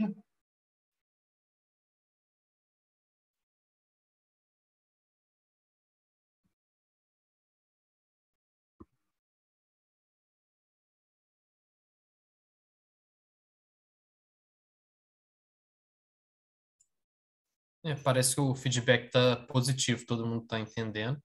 Ok, é. Muito bom. Mas é, qualquer coisa, é só fazerem perguntas aqui. Eu estou de Tudo bem. olho aqui no chat e no, no Questions and Answers. Olha, é, eu, deixa eu falar uma coisa então para vocês que estão assistindo. É, eu estou com uma folha aqui do lado, eu mesmo estou anotando. Tá? Eu, eu, eu, eu ainda sou, eu sempre mantenho um caderninho do lado, uma folha para analisar, porque eu estou analisando, eu vou anotando. Então, aqui, se eu estou interessado em analisar, eu não estou muito preocupado com o meu sistema de coordenadas, onde ele vai estar. Eu sei que eu, eu botei o meu sistema de coordenadas ali, que eu quero analisar antes da colisão. E é isso que eu vou fazer. Uma vez que está anotado o parâmetro que me interessa, que é o A, veja que o B não me interessa, porque eu não estou preocupado com a posição inicial. Pouco importa para mim. A velocidade é que é importante na análise que a gente está trabalhando. Então, eu sei que a velocidade é de 1,99 metros por segundo, até a colisão. Bom, é, agora é, eu vou fechar. O professor, só ah, teve um, o Clefson, um aluno, ele pediu para, se puder repetir, por favor, só acho que, creio que essa parte da, do cálculo da velocidade. Faço, faço de novo, não tem problema não. Vou começar do zero e depois eu vou fazer da outra parte. Vamos lá. Até aqui, vamos voltar do zero. Veja que eu alinhei meu sistema de coordenadas, o x, com a primeira parte dele, de zero a 5. Agora eu tenho aqui do lado um gráfico que engloba toda a minha videoanálise. Eu não estou interessado nela toda. Então, eu vou aqui, boto o mouse aqui na frente do gráfico, clico com o botão direito, e escolho, vocês devem estar vendo uma linha, eu vou lá para o final, aonde está dito analisar. Quando eu vou em analisar, aparece uma tela grande aqui para mim. E aí eu vou em analisar aqui debaixo da massa A, vou em ajuste de curva, e deixa eu botar de volta, porque na verdade eu tirei, ajuste de curva. E aí aparece aqui o nome do fit. Você quer ajustar uma parábola, uma função cúbica, ele ajusta, ele ajusta o que você quiser. Uma exponencial, olha aí que bacana, fica justinho. Você quer um gaussiano? Vai dar problema. Mas você pode pegar um linear, aqui. E aí você pode dizer aqui autofit, você tira ou você coloca autofit. Quando você bota autofit, ele está ajustando, como eu já tinha marcado os pontos, eu vou tirar isso aqui, eu vou botar de volta para qualquer ponto ele ajusta todos os pontos para você. Veja que a velocidade é outra aqui agora. Mas a gente está interessado só no início do movimento. Está vendo que está tudo aqui é, colocado em azul? Significa que ele está analisando todos os pontos menos o último. Eu não estou interessado em todos os pontos, eu estou interessado até o ponto 5. Então, eu tenho que vir com o mouse aqui, é, clico duas vezes, só marco os pontos que eu quero. Eu vou de 0 a 5, tá vendo? Marquei aqui, ó, os amarelinhos são os pontos em que esse ajuste linear está sendo considerado. Ele está, inclusive, mostrando para você aqui, só considerar até o ponto 5. Ou seja, ele passa longe dos outros pontos, mas faz sentido, porque a gente sabe que os outros pontos não são, para nós, interessantes. Está resolvida a dúvida? E ainda mais, o parâmetro A está aqui, ó, 1.993.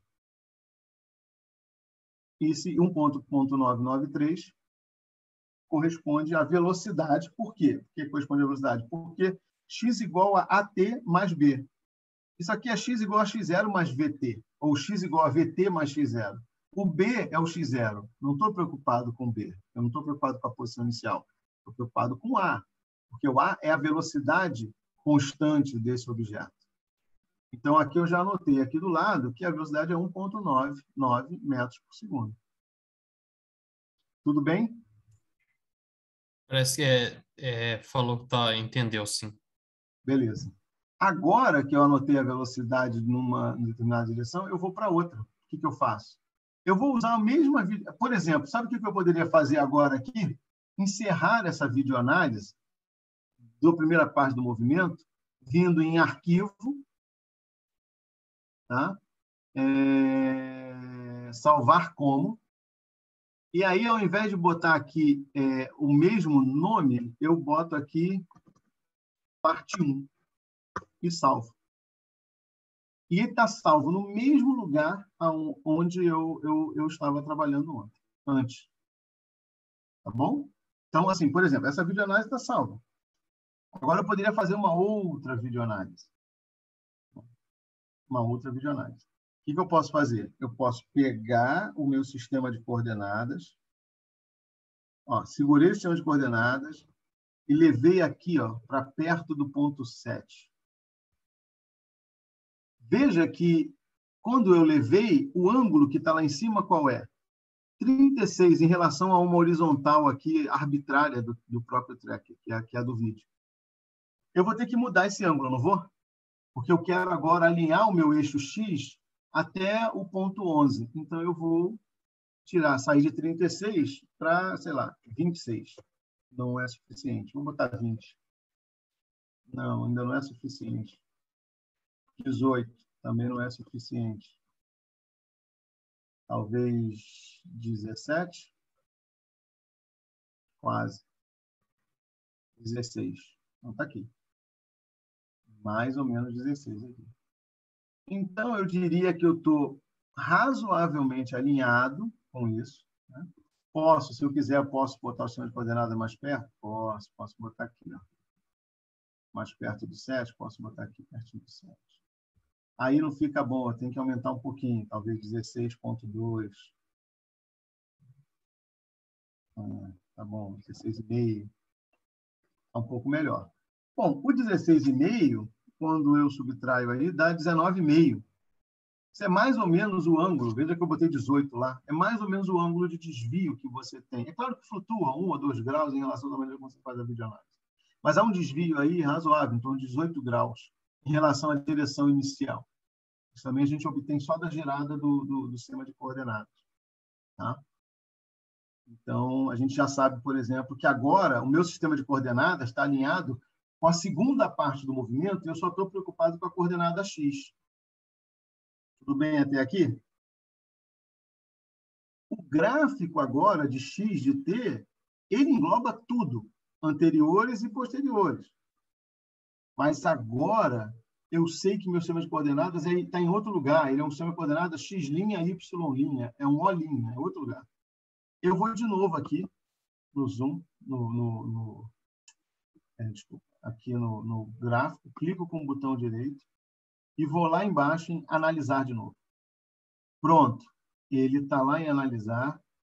Aparece já aqui, eu vou em analisar de novo. Ajuste de curva já está lá, está marcado. Aí se eu marcar ele sai, então eu volto, marco ajuste de curva e boto aqui linear, está linear e boto AutoFit. Olha, ele marcou de novo. Só que ele está marcando para os pontos anteriores. Eu só quero os pontos finais. 11, 10, 9, 8, 7. Então, vem para cá, ó, clico aqui e seleciono até o fim. Tem quatro pontinhos aí, pobres pontos. Linear. E olha o novo número que eu tenho agora. Eu tenho A igual a quanto? 1878. Ou seja, a velocidade depois da colisão ela é em torno de 1,88 metros por segundo. Não houve uma grande mudança de velocidade, houve uma pequena mudança, ela saiu praticamente de 2 para 1,9. Né? 2 para 1,9, você está perdendo 1,20. Você está perdendo aí. Uh, se você perdesse 2%, não mais. Né? Essa essa, essa diminuição da velocidade está associada com choque. Apesar de não ter sido um choque frontal, o desvio, a gente viu que está em torno de 19 graus, né? É, 16 graus, 16? Não, 19 graus mais ou menos. É um desvio que parte dessa energia foi dissipada ali né? durante o processo. Mas não é uma dissipação muito grande, você está mais ou menos mudando de, de de 1,99 para 1,88. Então, você tem aí, mais ou menos, perdeu 10%. De... Não, 5%. Essa, essa redução está associada à colisão. Então, mais uma coisa você pode é, é, mostrar aqui, que não é muito grande, não é tão grande assim. E você tem aqui a análise desses pontos. É, professor, Sim. Tem uma pergunta aqui do Pedro Mota, ele está perguntando se esse ajuste do eixo ele é feito só manualmente ou existe alguma forma é, do programa encontrar o melhor ângulo para o sistema ficar perfeitamente alinhado, né? Não, eu faço na mão. Eu fiz exatamente na mão. Eu faço aqui na mão. Se eu tiver dificuldade de observar, eu posso fazer um aumento, como eu vou fazer agora aqui. Ó. Posso é, colocar aqui e dizer, não, não estou bem satisfeito com isso mas você, eu não conheço, por exemplo. E também nunca fui atrás, mas é possível que tenha, não sei, acho que não. Mas se tiver, depois me avisa. E não é uma grave, não é um grave problema você ter um ajuste que ele não fique muito próximo, porque aqui tem associado a uma coisa chamada incerteza de medição. Você deve levar em conta isso durante sua sua análise, né? Mas eu não sei. Esse é o ponto que eu realmente não sei. Tem também é, uma outra pergunta aqui do Alessandro. É, perguntando se a análise pode ser feita em outro eixo, né? Porque o maior desvio está no eixo Y. Um, não entendi a pergunta, como o maior É. desvio está longe. Se, vo- é, se você quiser, Alessandro, eu posso abrir você É, para falar. abre, abre o áudio para falar, é melhor. É, vou aqui então abrir, aí você pode fazer a sua pergunta verbalizada aqui. Já está aqui, é só você desmutar. Oi, boa tarde, tudo bem? Ou bom dia, perdão. Tá dando pra ouvir? Tá sim, tá sim. Ok. Ah, eu queria saber se, na verdade, nem é se dá para ser feita análise em outro eixo necessariamente, mas a análise da trajetória mesmo. Da, da trajetória inteira. Porque, bom, tá sendo, ele tá desviando e ah, eu não tô sabendo explicar a minha pergunta, na acho verdade. que, vê, vê se, vê se o que eu estou falando faz sentido para você. Você está querendo um modelo teórico que dê conta do desvio. É, eu queria fazer uma análise também da trajetória em si. Mas a trajetória, você basicamente Você- deve ter percebido que a trajetória é uma reta até perto do ponto 6 e do 7 em diante é uma reta de novo. Exatamente, exatamente. Uhum. Mas. Ah, não, na verdade minha pergunta não, fa... não faria sentido. É, Eu confundi uma coisa, perdão. Não, o que, o que você deve estar pensando, você já deve ter visto espalhamento de carga elétrica. Sim, sim. Isso. E Isso aqui é um espalhamento. O centro espalhador é o cilindro. O projétil que você tem é o PUC. E a análise que você está pensando para fazer é uma análise que você pensou em algo do tipo 1 sobre R2. Esse é o modelo de espalhamento que você tem de espalhamento de Rutherford. Mas Sim. nesse caso em particular, não tem um modelo específico para essa colisão. O que você pode fazer, e por exemplo, a gente não tem dado para modelar a colisão, porque a colisão ocorre entre um frame e o outro. Né? É, eu Então, acho você- que eu posso remodelar um pouquinho a minha pergunta, que Pode, era faça. não necessariamente fazer uma análise da trajetória, mas olhar para a velocidade do corpo é, em relação ao, ao raio do ao raio em relação à origem. A velocidade do eu não lembro o Hum. nome dessa bolinha desse, desse disco, né? Em relação à origem e não apenas em relação ao eixo X. Então, a gente olharia para o vetor velocidade considerando os eixos X e Y.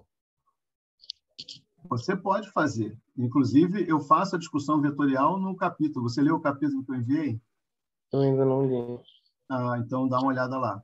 Eu tenho Vou a discussão, inclusive faço uma estimativa da força total que atua sobre o objeto. Aliás, para Ah. todos, vale isso. Né? O que eu enviei para vocês é que tudo que eu estou fazendo aqui corresponde ao primeiro vídeo do capítulo. E tem um segundo vídeo que eu vou deixar para vocês analisarem, que é o vídeo 2. Exatamente fazer o que eu estou fazendo aqui para o vídeo 2. Como auxílio didático, eu estou enviando o capítulo 1, enviei para vocês o capítulo 1.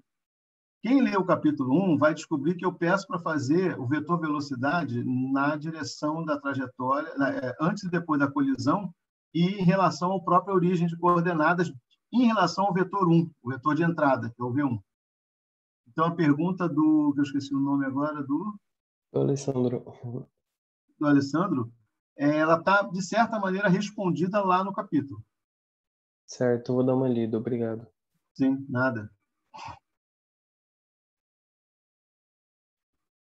Alguma outra pergunta? O,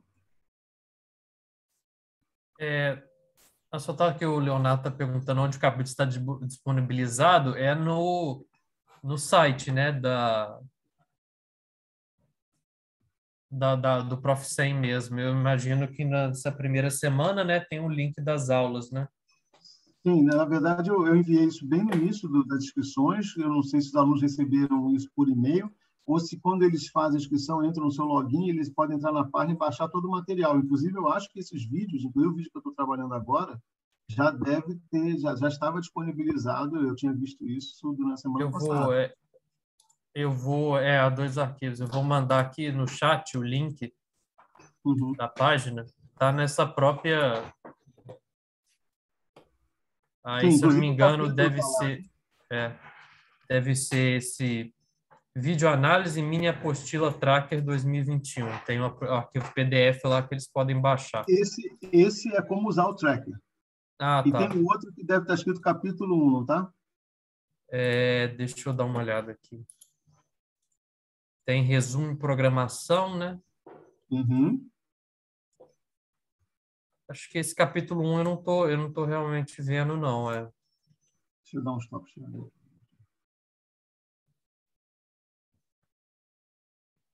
É, não, então a gente tem que. Vão falar, né? Não, não tá lá, não, naquela página, não. É. Não?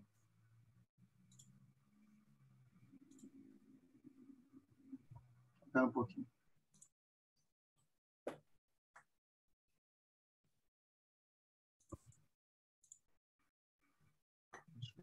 Eu acho a minha que é. apostila tá, né? A apostila tá, vi, é videoanálise, minha apostila tá, mas esse outro, esse capítulo 1 tá não. Então talvez a gente tem que pedir. É... Me dá seu Pra- e-mail, Francisco. Oi? Pode falar seu e-mail. E-mail? É. É Francisco Figueiredo. Francisco? Figueiredo, Aham. 1307, arroba gmail. Mas aí acho que ainda é bom falar com o pessoal da escola que eles adicionam no site. Isso, isso. É, deixa eu. O Vitor, manda para mim também. Eu estava aqui procurando também, eu não achei lá na página, mas manda para mim que eu estou disponibilizando assim imediatamente. Eu já coloco, tem uma área do Google Ah, o Drive. professor tem, tem acesso. É. É, tem uma área do Google Drive que a gente já lança isso para o pessoal e depois a gente coloca, pede o pessoal da página para adicionar também. Então manda para mim também, Vitor, por favor. Qual tá? é o nome? É, peraí, Arthur. É, é arthur.moraes, arroba cern.ch. É o melhor.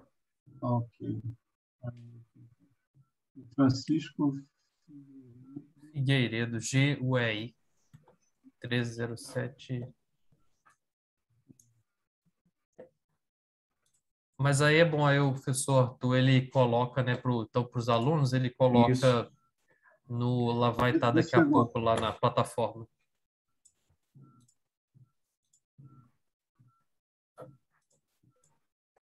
É, não, ainda.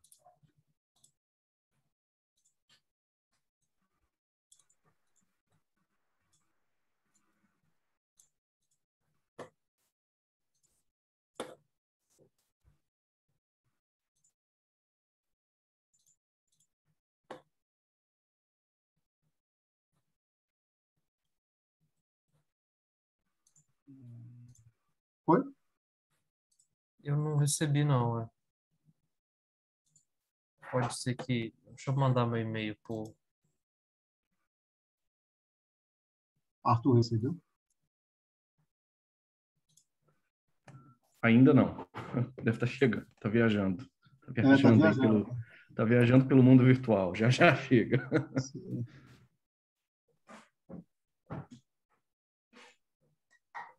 Assim que chegar, eu aviso, tá, Vitor? Mas assim, eu vou disponibilizar imediatamente para o pessoal. Assim, eu mando, vou mandar por e-mail para eles, né? Um linkzinho onde eles podem baixar já. E depois vai ficar na página também para referência também, tá? Sim. É... Deixa eu só. eu preciso de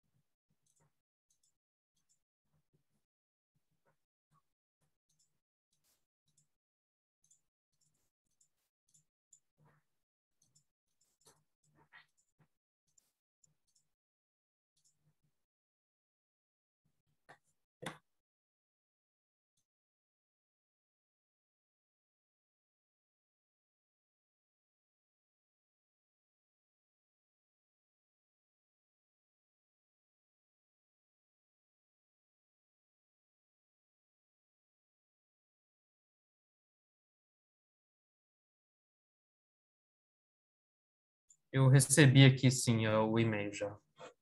Mas depois, para os alunos, a gente disponibiliza é, ali na plataforma. Já, os vídeos já estão lá na plataforma. Isso. Aí- É, eu, recebi, eu recebi também. Eu vou colocar já, tô fazendo download aqui, eu vou jogar já na- no Google Drive e, e mando um link aqui já para vocês é, no chat, tá? Quem já quiser fazer o download já faz. Mas assim, para quem não está conectado aqui agora, a gente vai colocar, a gente vai conversar com o pessoal da técnica nossa aí, eles vão colocar na parte, na página, né, associada ao, ao mini curso, tá bom? Mas dois minutinhos, eu vou mandar um link aqui para vocês no chat, vocês já podem clicar e fazer o download.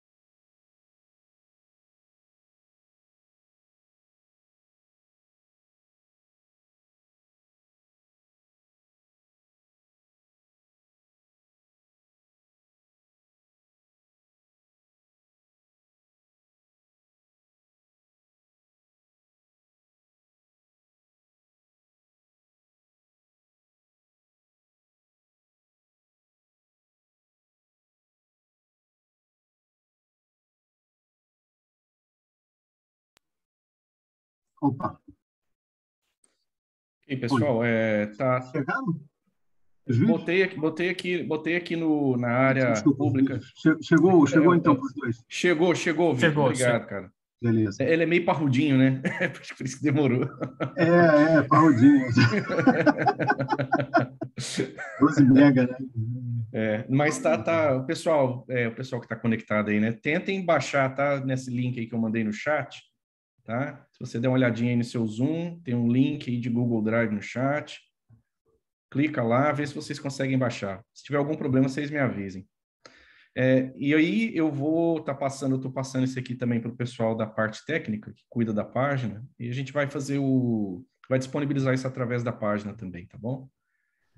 Ótimo, ótimo. Bom, eu, eu na verdade, acho que eu me confundi, cara. Eu pensei que tivesse mandado, acho que na hora de copiar, um deles ficou para trás.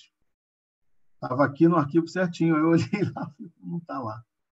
Mas, ok. É... Deixa eu voltar para a pergunta do rapaz. Então, acho que está tá respondida com relação a, análise da. Eu vou voltar a dar um share para a nossa.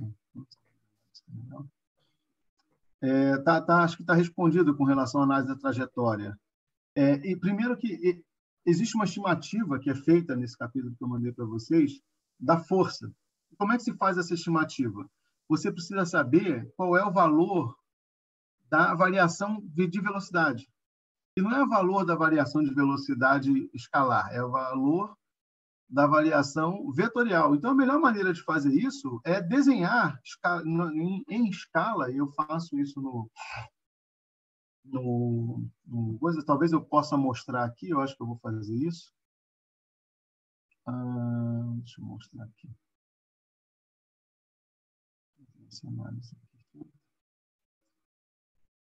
Eu vou fazer aqui, vou mostrar aqui.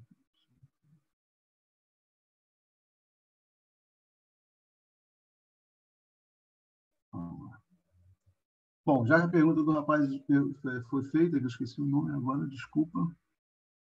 Aqui. Eu vou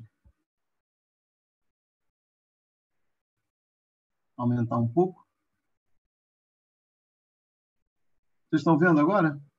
É, só me avisem se sim ou não. Acho que, acho que sim. É, um aluno perguntou, esse, esse capítulo é parte do livro, né? É parte do livro, é parte do livro. Daquele, daquele livro que está ali no. Né? Isso, isso. Só que ele está focado nesse experimento, né? E, e, veja que aqui tem um ajuste. Vocês estão vendo que ele tem um ajustado aqui é, é, da primeira, antes da colisão e depois da colisão. Foi exatamente o que a gente fez agora aqui. Só que eu mostro isso aqui dizendo que são sistemas de coordenadas diferentes. Eu aponto aqui como é...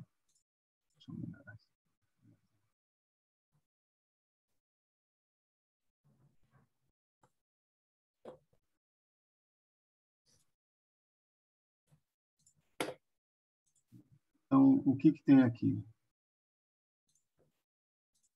Eu tenho né, 202 e 190, quer dizer, a minha variação, a gente calculou em 199, 188, está dentro dessa incerteza, dessa flutuação. Né? Aqui é um sistema de coordenadas, é o primeiro, e aqui é o segundo. Veja que eu chamo de x' em vez de x, porque eu estou num outro lugar, o desvio é de, nessa estimativa da que eu fiz foi 18,4, aqui a gente estimou em 19 uh, alguma coisa. E essas duas velocidades são muito próximas, mas elas estão em sistemas de coordenadas diferentes e a gente sabe o desvio. O que, que você pode fazer, não para descrever a trajetória, porque ela é curta, nesse, nesse vídeo não tem como fazer isso, mas você pode, por exemplo, é, fazer o seguinte, por exemplo. Aqui eu vou tentar reduzir.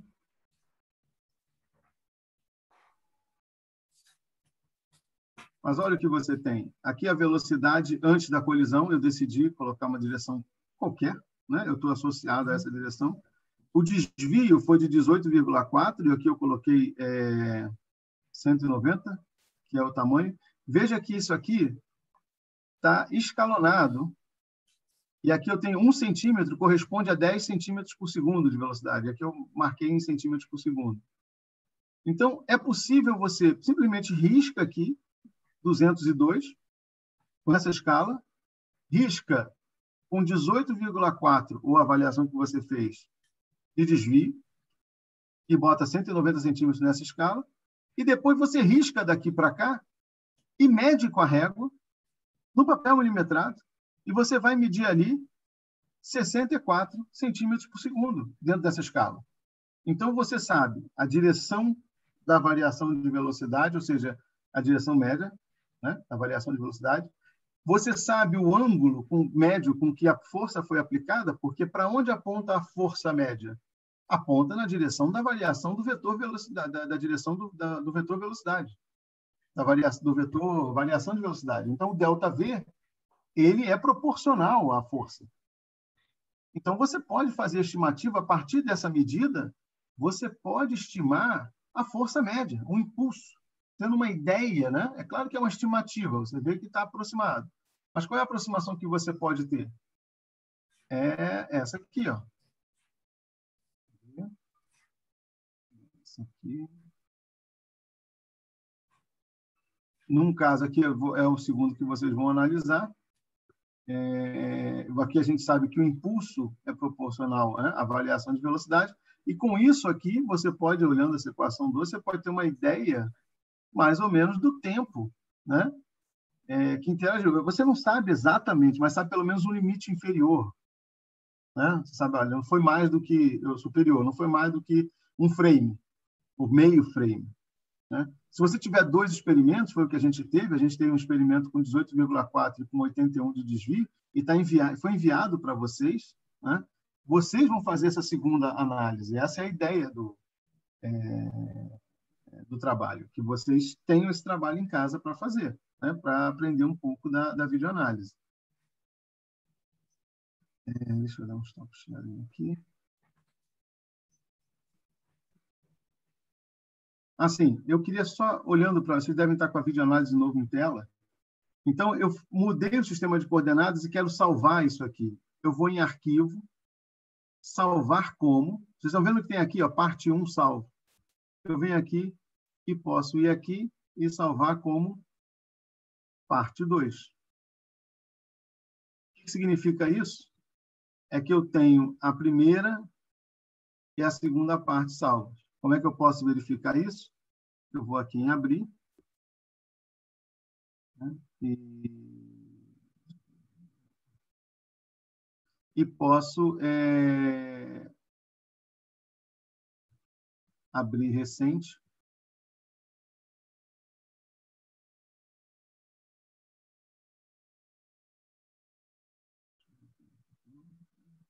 Aqui tem uma pergunta aqui do Leonardo. Ele falou assim, como, é, como achamos mesmo o valor do desvio? Não sei se eu entendi. Pode repetir a pergunta? Como achamos mesmo o valor desvio? É o desvio do objeto após a colisão. Não entendi. Ô, Leonardo, se quiser, eu posso te. É, eu vou te autorizar a falar, que aí você pode fazer a pergunta verbalmente aqui. Deixa eu. Só você desmutar o microfone. Alô, pode falar, a gente tá, dá para ouvir.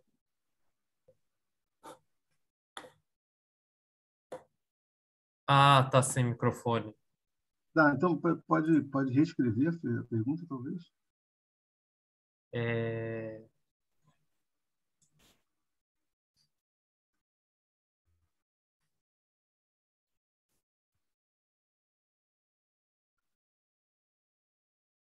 Ah, tá. Você está falando o valor, o valor do desvio, como achar o ângulo. Ele falou que no nome do experimento está que o desvio é de 18,4 graus. Aí como Isso. que você pode medir acho que um ângulo, então, né? É, eu acabei quer... fazendo aqui, né? Pelo próprio sistema de coordenadas que eu utilizei. Foi o que eu mostrei aqui. É, talvez ele não tenha acompanhado, mas eu creio que ao colocar né, o eixo né, e ajustar é, esse Sim. ângulo a partir da horizontal, a gente consegue determinar assim, ajustando, né? Isso, porque o que você faz quando você está aqui no sistema de coordenadas, olha aqui em cima, eu tenho ângulo a partir da horizontal, tá vendo? Então, o que você pode fazer, exatamente o que eu fiz na primeira e na segunda análise, eu coloquei o sistema de coordenadas no início do movimento que eu estou preocupado em analisar até o ponto 5. Medi um certo ângulo, que se eu anotei aqui, eram 36 graus, em relação a essa horizontal que é do vídeo. Ela é uma horizontal fictícia, né? Ela tem, só determina.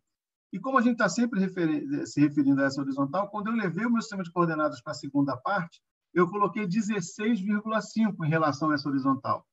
Então, eu, na verdade, houve uma redução, para chegar a 30, 30 menos 16,5, mais ou menos é 36 menos 16,5. Então, essa foi minha estimativa, 19,5.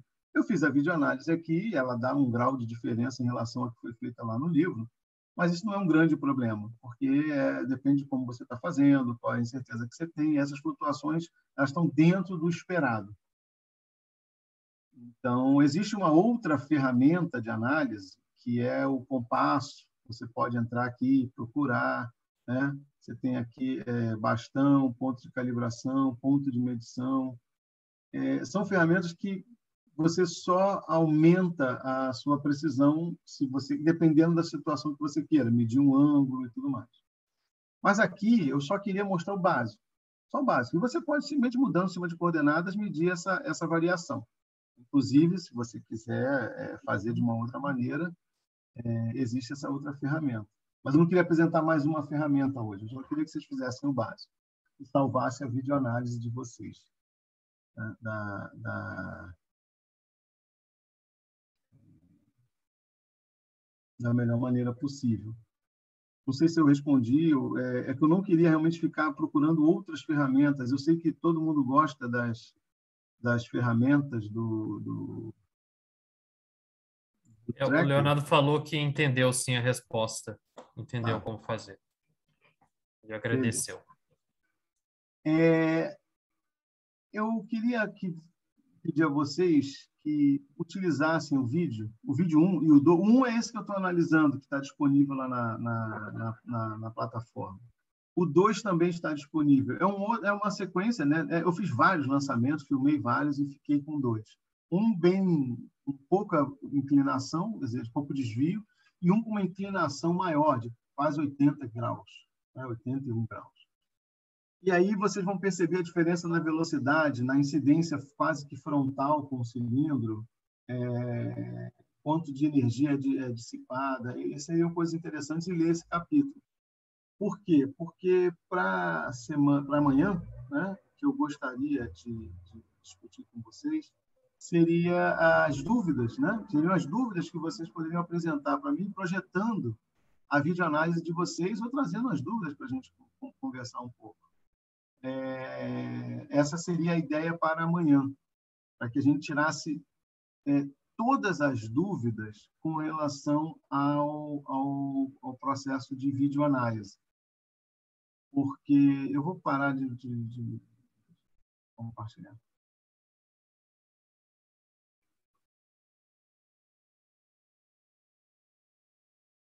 É, agora eu estou vendo o chat, alguém falou, Leonardo falou, é, como achamos isso? Eu acabei de fazer aqui, mudando o sistema de coordenadas em relação ao horizontal, foi o que eu estava explicando agora há pouco.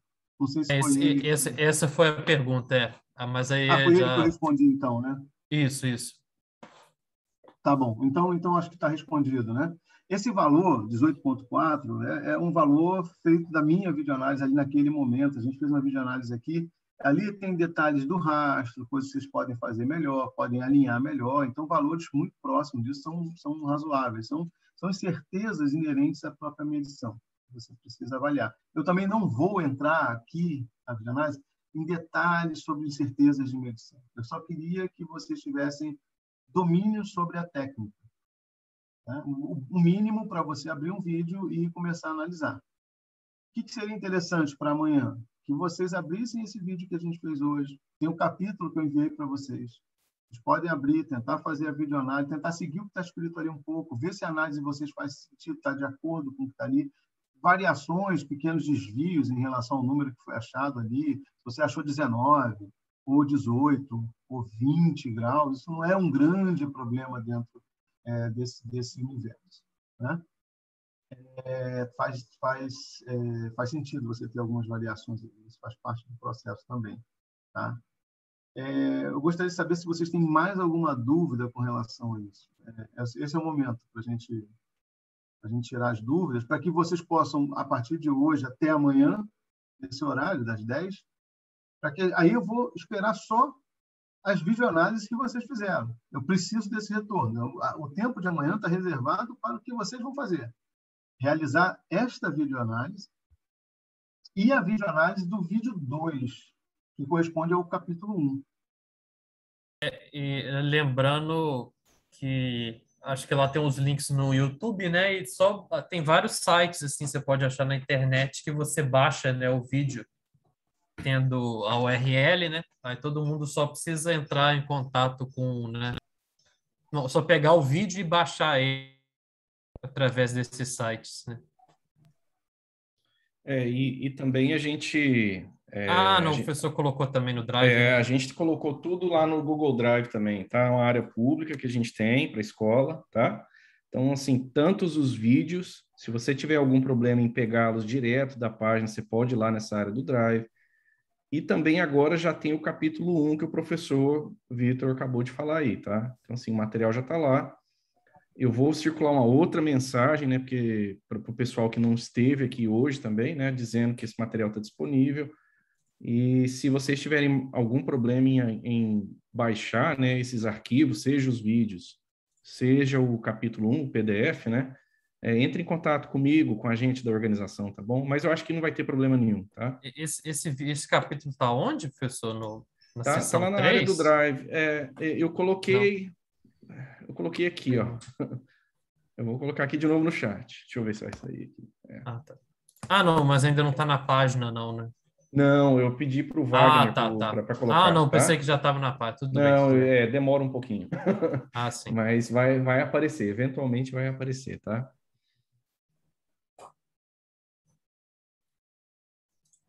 Mas eu acho que é isso, né, pessoal? É, Vitor, mais alguma coisa que você quer adicionar? Não, eu só, só gostaria mesmo que eles praticassem hoje o vídeo que a gente fez e o uhum. outro, que é o vídeo 2, que é, que é um outro lançamento desse, só que com um ângulo de desvio bem maior. A discussão está no capítulo que a gente que você acabou de disponibilizar no Google Drive, que é o capítulo 1. Então, você tem um material para fazer um pouco da física, né? aprender Isso. um pouco daquela física para videoanálise, usar aquela física para videoanálise, e usar a videoanálise como sua ferramenta para o futuro. Ou seja, uma vez que você tem um vídeo, é, em boas com boa qualidade, definição e seja razoável, você possa avaliar. Então, resumidamente, o que a gente tem para a semana é amanhã. Eu vou estar aqui disponível, a gente vai abrir às 10, vamos ver, dentro desse tempo, as pessoas que fizeram a videoanálise abrir, projetarem suas telas, o Francisco vai ajudar nesse processo, para que a gente tire as dúvidas, todas as dúvidas possíveis. E aí tem o terceiro vídeo, que já está tá lá disponível, que a gente vai discutir também na quarta-feira. Ele é um pouco mais sofisticado, tem centro de massa, tem movimento da roda, tem rastro. E aí eu vou discutir essas nuances que tem da videoanálise. Na quinta-feira a gente vai ter uma análise, uma discussão de vídeos com como fazer o próprio vídeo, e aí vocês vão fazer os próprios vídeos e a gente vai discutir isso na, na sexta-feira. Na, na, na sexta tá bom? Acho que é só. Ótimo. É, eu estou vendo é, aqui o... Tô, uh, é, não, ah, Luiz, essa é né? a pergunta, né? É, o Luiz está perguntando assim se a disponibilização da, da gravação sai ainda hoje. Não sai, Luiz, infelizmente, tá? É, é, é um processo meio. É, é, nós, temos, nós temos uns parceiros da escola que estão fornecendo para a gente o serviço do Zoom, né? Então, assim, eles vão passar para a gente a gravação, mas isso demora mais do que algumas horas, né? Então, assim, para hoje não vai ficar pronto, não, tá? Eu tenho que ver com eles direitinho se já tem uma previsão assim, se para amanhã, tal, se a gente já tem o vídeo de hoje. Mas é, por agora não, não espere não, tá? Vai demorar um pouquinho. É um processo que eles têm que preparar o arquivo lá, mandam para nós, né? Então é, leva um pouquinho de tempo, tá? Mas estarão disponíveis para todos aqueles que estão registrados, tá? Eventualmente vocês vão ter acesso a isso tudo, tá?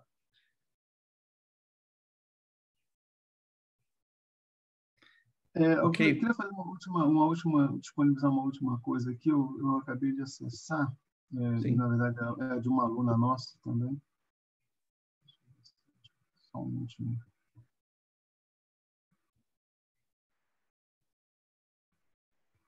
Eu vou colocar no chat. Tá? É, esse é um Educapes, é um, é um outro manual feito por uma aluna nossa do mestrado lá do, do IFRJ, no mestrado profissional em ciências. Ela fez um, um também um tutorial para a tese de mestrado, para a tese de mestrado dela. Está muito bem feito também. Achei esse, esse, ele é maior, ele tem mais coisas, mas está é, tá disponibilizado é, nesse link do Educaps. É um link gratuito, é só, só baixar, sem problemas. Aqui eu mandei, eu mandei o link aqui no tá no chat, no, no, no chat, no chat. Isso. E eu vou fazer agora durante o intervalinho do almoço, eu vou disponibilizar isso também, tá, pessoal? Ah, seria, seria interessante disponibilizar. Pode, na... né, professor? É, eu tenho que perguntar se tem, se pode. ah, não, não, esse, esse é um link Educapes, é, é o é, link dos, é público, do, né? Dos produtos educacionais gerados nos universidades profissionais, ensino de ciências, ensino. Legal. Legal. Então, eles são, você pode disponibilizar. Essa aluna foi muito cuidadosa, fez um link mais longo, ela precisou fazer, porque ela, ela inclusive a, a, tese dela, ela atuou no ensino médio, uh, na verdade, ensino, ensino fundamental 2 ou médio, no nono ano, para movimento retilíneo e movimento retilíneo-uniforme. O track, ele fez uma... Porque os alunos, na época, foi pré-pandemia, os alunos dela filmaram os próprios vídeos depois. Ela filmou ah, alguns para os alunos, depois eles próprios filmaram foi daí que nasceu a ideia da gente ver como é que um vídeo que vem, às vezes, meio balançando, meio tremido, se é possível fazer vídeo análise de vídeo. É, é, e, e existem algumas possibilidades que eu vou mostrar provavelmente na quinta-feira. Beleza. Tá, tá, bom. Então, okay. bom, bom dia, treinem para amanhã. É isso aí, é isso aí. Obrigado, Vitor. É, acho que foi muito interessante, tá? Eu, eu espero que o pessoal Estou vendo aqui um monte de gente dizendo que achou legal. É... Muito obrigado, pessoal. Vamos praticar, tá? Vocês veem assim que o nosso cronograma a gente tentou não encher de muita palestra, muita coisa, para vocês terem tempo de fazer isso, tá? Então, assim, tem agora um intervalozinho para almoço, você engole aí alguma coisa aí rapidão e, e tem umas duas horinhas para você dar uma brincada já com isso, tá? Dá uma olhada tal. É, e amanhã cedo também, amanhã cedo a gente vai ter só uma sessãozinha de discussão rápida pela manhã, mas assim, você vai, eu vou deixar um tempo em extra também para vocês poderem dar mais uma trabalhada. E a gente retorna com o Vitor, né? Sobre esse mini curso, a gente retorna às 10 da manhã. É muito, tá bom, é muito importante treinar. É muito importante fazer essa tentativa hoje amanhã.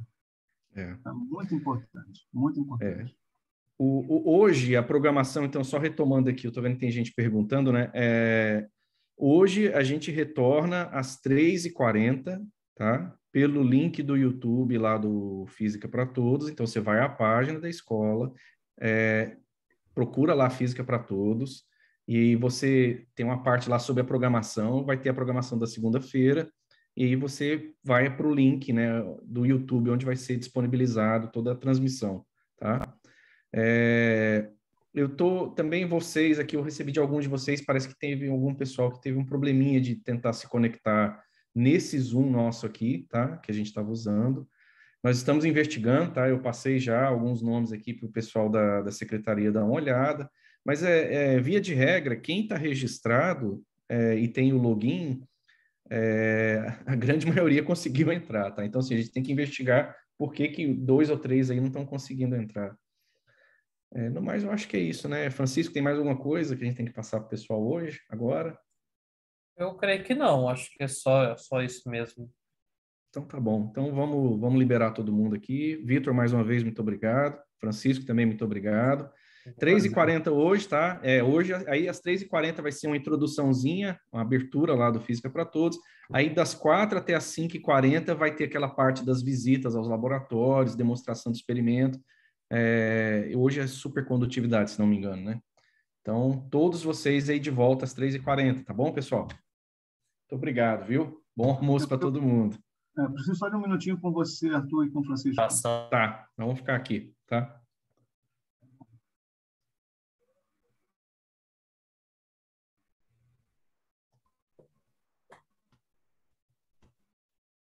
Até mais.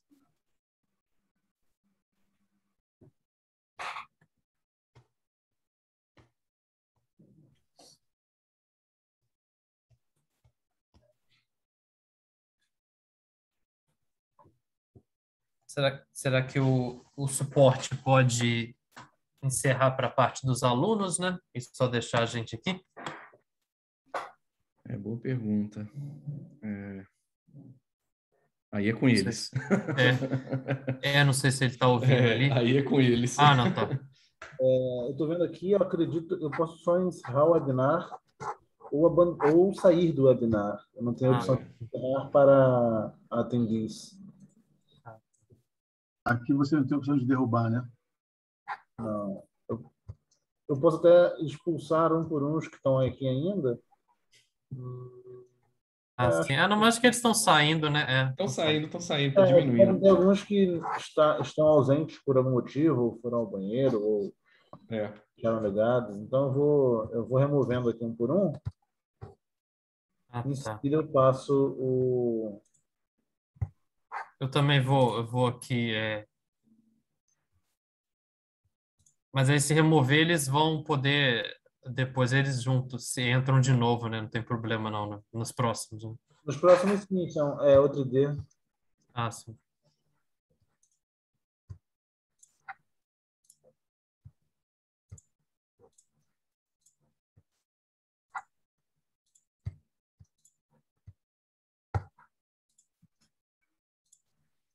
Deixa eu só perguntar, quem que está aí no suporte? É... Hermínio. Hermínio. Foi com você que eu falei mais cedo hoje, Hermínio? É, se foi aqui nessa sala, sim. É, deixa eu pôr minha câmera aqui para você ver quem que é que está falando. eu tava com a câmera desligada. É, desculpa. É, não, é só para saber assim. Então, amanhã, é, amanhã pela parte da manhã, a gente vai usar o link de vocês de novo do Zoom. Então, seria um outro link, pelo que eu entendi. Você falou que tem um outro ID.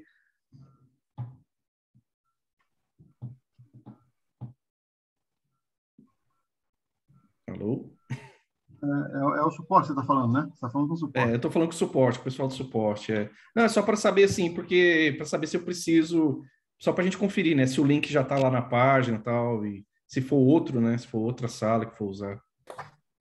Oi, oi, tá me ouvindo? Estou ouvindo agora. Então, o procedimento de acesso de vocês é o mesmo.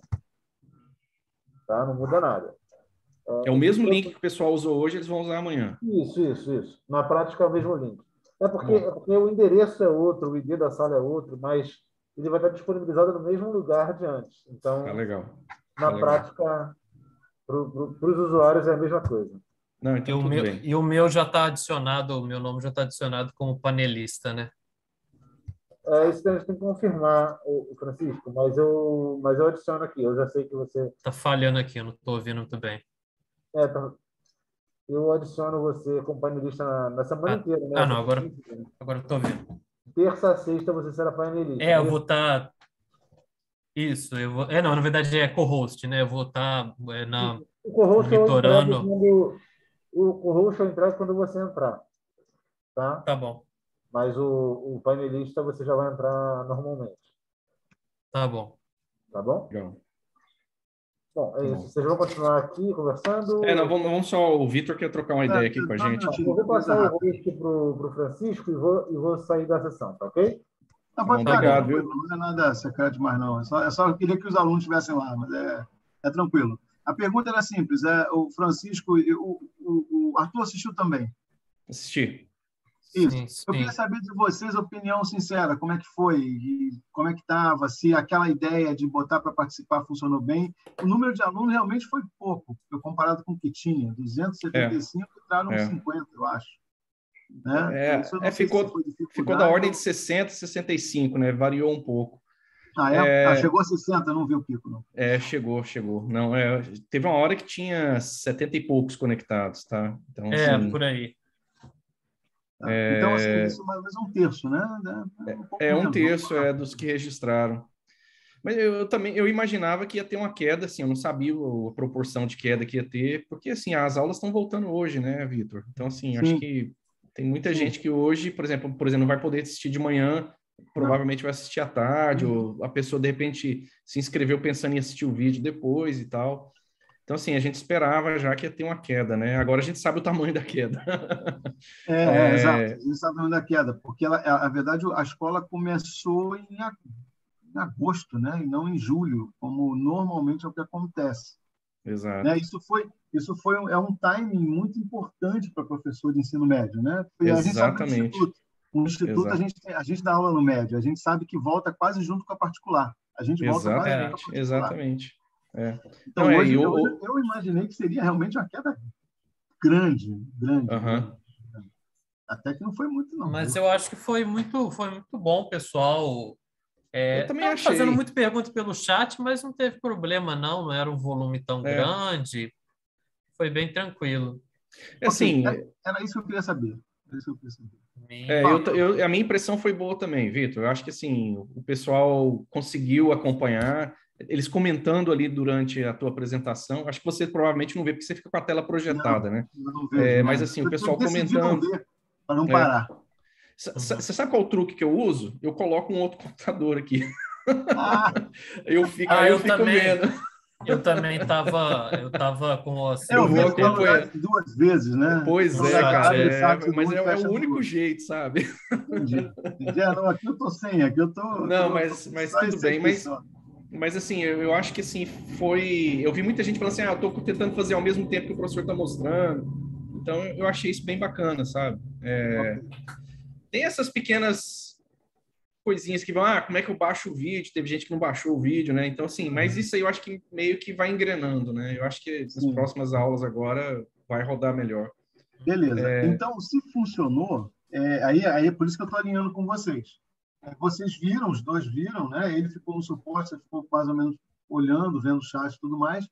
A explicação, eu fui bem lento, fui bem devagar, só para dar uma ideia bem básica do que, que é possível fazer e amanhã eu realmente quero fazer só tirar dúvida deles, deixá-los com maior tranquilidade para a gente fazer isso, porque parece, pelo número, pelo que o Francisco, a gente consegue dar conta nesse modelo. Só queria é, confirmar tá. vocês que eu vou manter assim. Tá, tá ótimo por mim. Tá é. ótimo, Vitor. Eu acho que tá muito bom. Acho que a ideia é essa mesma, tá? Isso, isso, isso tá, é bem o espírito do, do Prof. Sen, sabe? A máquina minha tá batendo aqui, tá fazendo barulho. É, é, trabalhar de casa, né? É, é bem o espírito Prof100. A gente quer, por exemplo, para a parte da, da, oficina de experimentos, eu também estou nesse mesmo modo aí, sabe? Assim, se o pessoal trazer coisas, a gente vai ter coisa para falar. Se não trouxer, aí a gente, eu vou liberar mais tempo para eles pensarem, fazerem alguma coisa, exercitarem. Mas a ideia é que eles façam, né? A gente não quer que isso seja a gente distribuindo a informação assim. É preciso que eles ponham a mão e, mas eu acho que tá bom, cara. É, eu, a, a ideia é, é, dar um, é dar uma motivação, né? Dar uma incentivar o cara a testar essa ferramenta, ver que é bacana, né? E ver que ele dá conta de rodar. Então, isso, se ele sair daqui sabe com qual isso... a frustração? A frustração normalmente desses cursos, quando eu comecei a dar presencial, era assim, gente, primeiro vou aprender a fazer vídeo. Aí, cara, você passava duas aulas, o cara filmava todo, filmava. Né? E eles nunca conseguiam chegar na hora de fazer a videoaula. Eu falei, não, eu vou dar um vídeo pronto, curto, pequeno, o cara faz. Ele vai se sentir seguro em fazer. Ele fala assim, porra, então é, então é possível fazer. Quando for chegar a hora dele fazer o vídeo, aí é uma cagalhopança do caralho, porque tu faz o negócio, fica torto, é uma merda, fica tudo ruim. Mas só que você sabe que é possível fazer. Eu já fiz. Agora, é, eu só preciso, eu só preciso pô, fixar a câmera, eu preciso filmar direito. Mas ele já fez. A minha sensação quando eu dei os cursos antes era o seguinte: isso é uma merda, não funciona. Porque o cara faz uma filmagem ruim, aí ele fala: ah, pô, meu eixo ficou torto, a bola sai de lado. Aí não, eu dei um vídeo prontinho, bonitinho, curtinho, falou: cara, é só isso aqui. Você, ele já sabe, ele já vai saber usar todas as ferramentas que ele precisa, as básicas, né? Porque eu também sou velho, eu não fico usando, porra, compasso, não, não é. porra é. nenhuma. Eu vou lá, tiro o dado, inclusive eu nem uso aquele análise de data tool que eu ensinei, não. Eu tiro, vou para vou o Keyplot, para o Origin, e Exato. trabalho a física, porque aquilo, para mim, eu sou um usuário mesmo. Eu vou lá, tiro o dado, exploro a máquina e mando embora. Falo, tchau, uhum. agora não quero mais falar contigo, não. Eu quero fazer minha física aqui e dar minha aula os professores costumam agarrar no negócio e falar assim, porra, eu quero fazer tudo ali dentro. Aí fica, fica difícil. Então, eu falei, não, cara, olha só, é só o básico, você só precisa saber esse básico. Resolveu o teu problema, vai embora. Aí quando ele chegar na quarta-feira, que ele fala assim, pô, agora eu tô bom. Quando ele filmar, ele vai ver, puta, cara, filmar é uma bosta. É. Porque filmar você precisa de luz, precisa de um monte de coisa. Quando eles trouxerem a dúvida, falar, olha, agora você tem que aperfeiçoar a filmagem. Mas aí é fácil, porque o cara já dominou a técnica, bem ou mal, ele baixa vídeo de outro lugar, pega de outro lugar e já começa a usar. Não precisa ficar o tempo todo, ah pô, não tenho vídeo, não sei. Inclusive, eu ia perguntar a vocês, eu acho que lá para perto do final, eu vou pegar mais vídeos que eu já tenho e vou disponibilizar, mas não quero fazer agora, para que eles não fiquem assim, ah, vou fazer tudo. Não, não, não. É, Toma, vai é. para casa tá na sexta-feira, pega o fim de semana e vai brincar. Tá ótimo. Não, eu acho que tá muito boa. A proposta é muito boa, Vitor. Gostei mesmo. Beleza. Beleza. Francisco nunca tinha visto vídeo análise, tinha? Não, isso não. Eu já, assim, eu na, na eu faço licenciatura à distância, né? É que eu sou, uhum. sou formado em bacharel, eu tempo eu usei só aquele outro Modelos, né? Um outro programa Modelos, mas essa videoanálise não, até achei bem legal. Modelo, o Modelos, ele é... Ele é bem videoanálise, né? Ele é, modela. né? Ele modela... É, aí você bota, dá só tirar uma fotinho assim, aí você consegue animar as coisas, mas não é nada de videoanálise. É.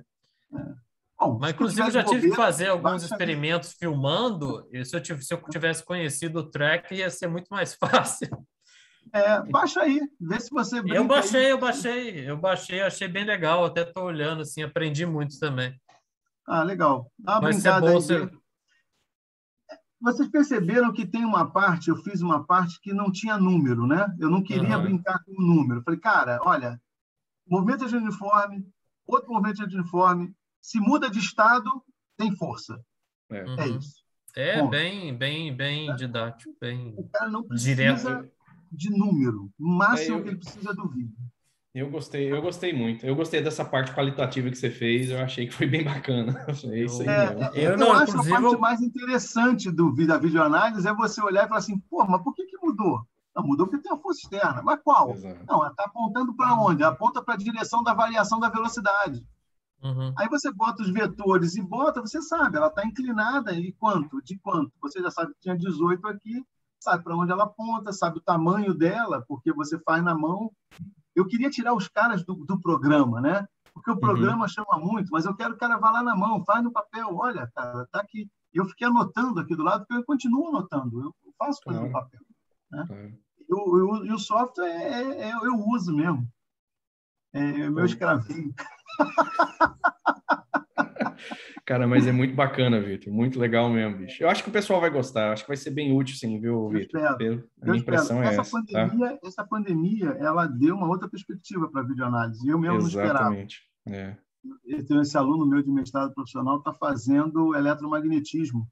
Tem um artigo só que tem sobre eletromagnetismo. Eu peguei esse artigo, que é da América, acho que é da Physics Education, ou American Journal of Physics, ou European Journal of Physics, que é só para isso. Aí se o cara lê né, aquilo, eu falei, cara, e transforma no EAD do CEDERJ.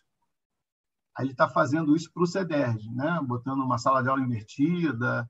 Aí está usando lá as técnicas de ensino, que eles sabem mais do que eu, eu não sei, mas usando aquela ferramenta, porque a distância hoje, cara, senão os laboratórios ficam fechados, né? Exato, exato. E com vídeo, não. Se você falar assim, cara, com esse vídeo aí de um terço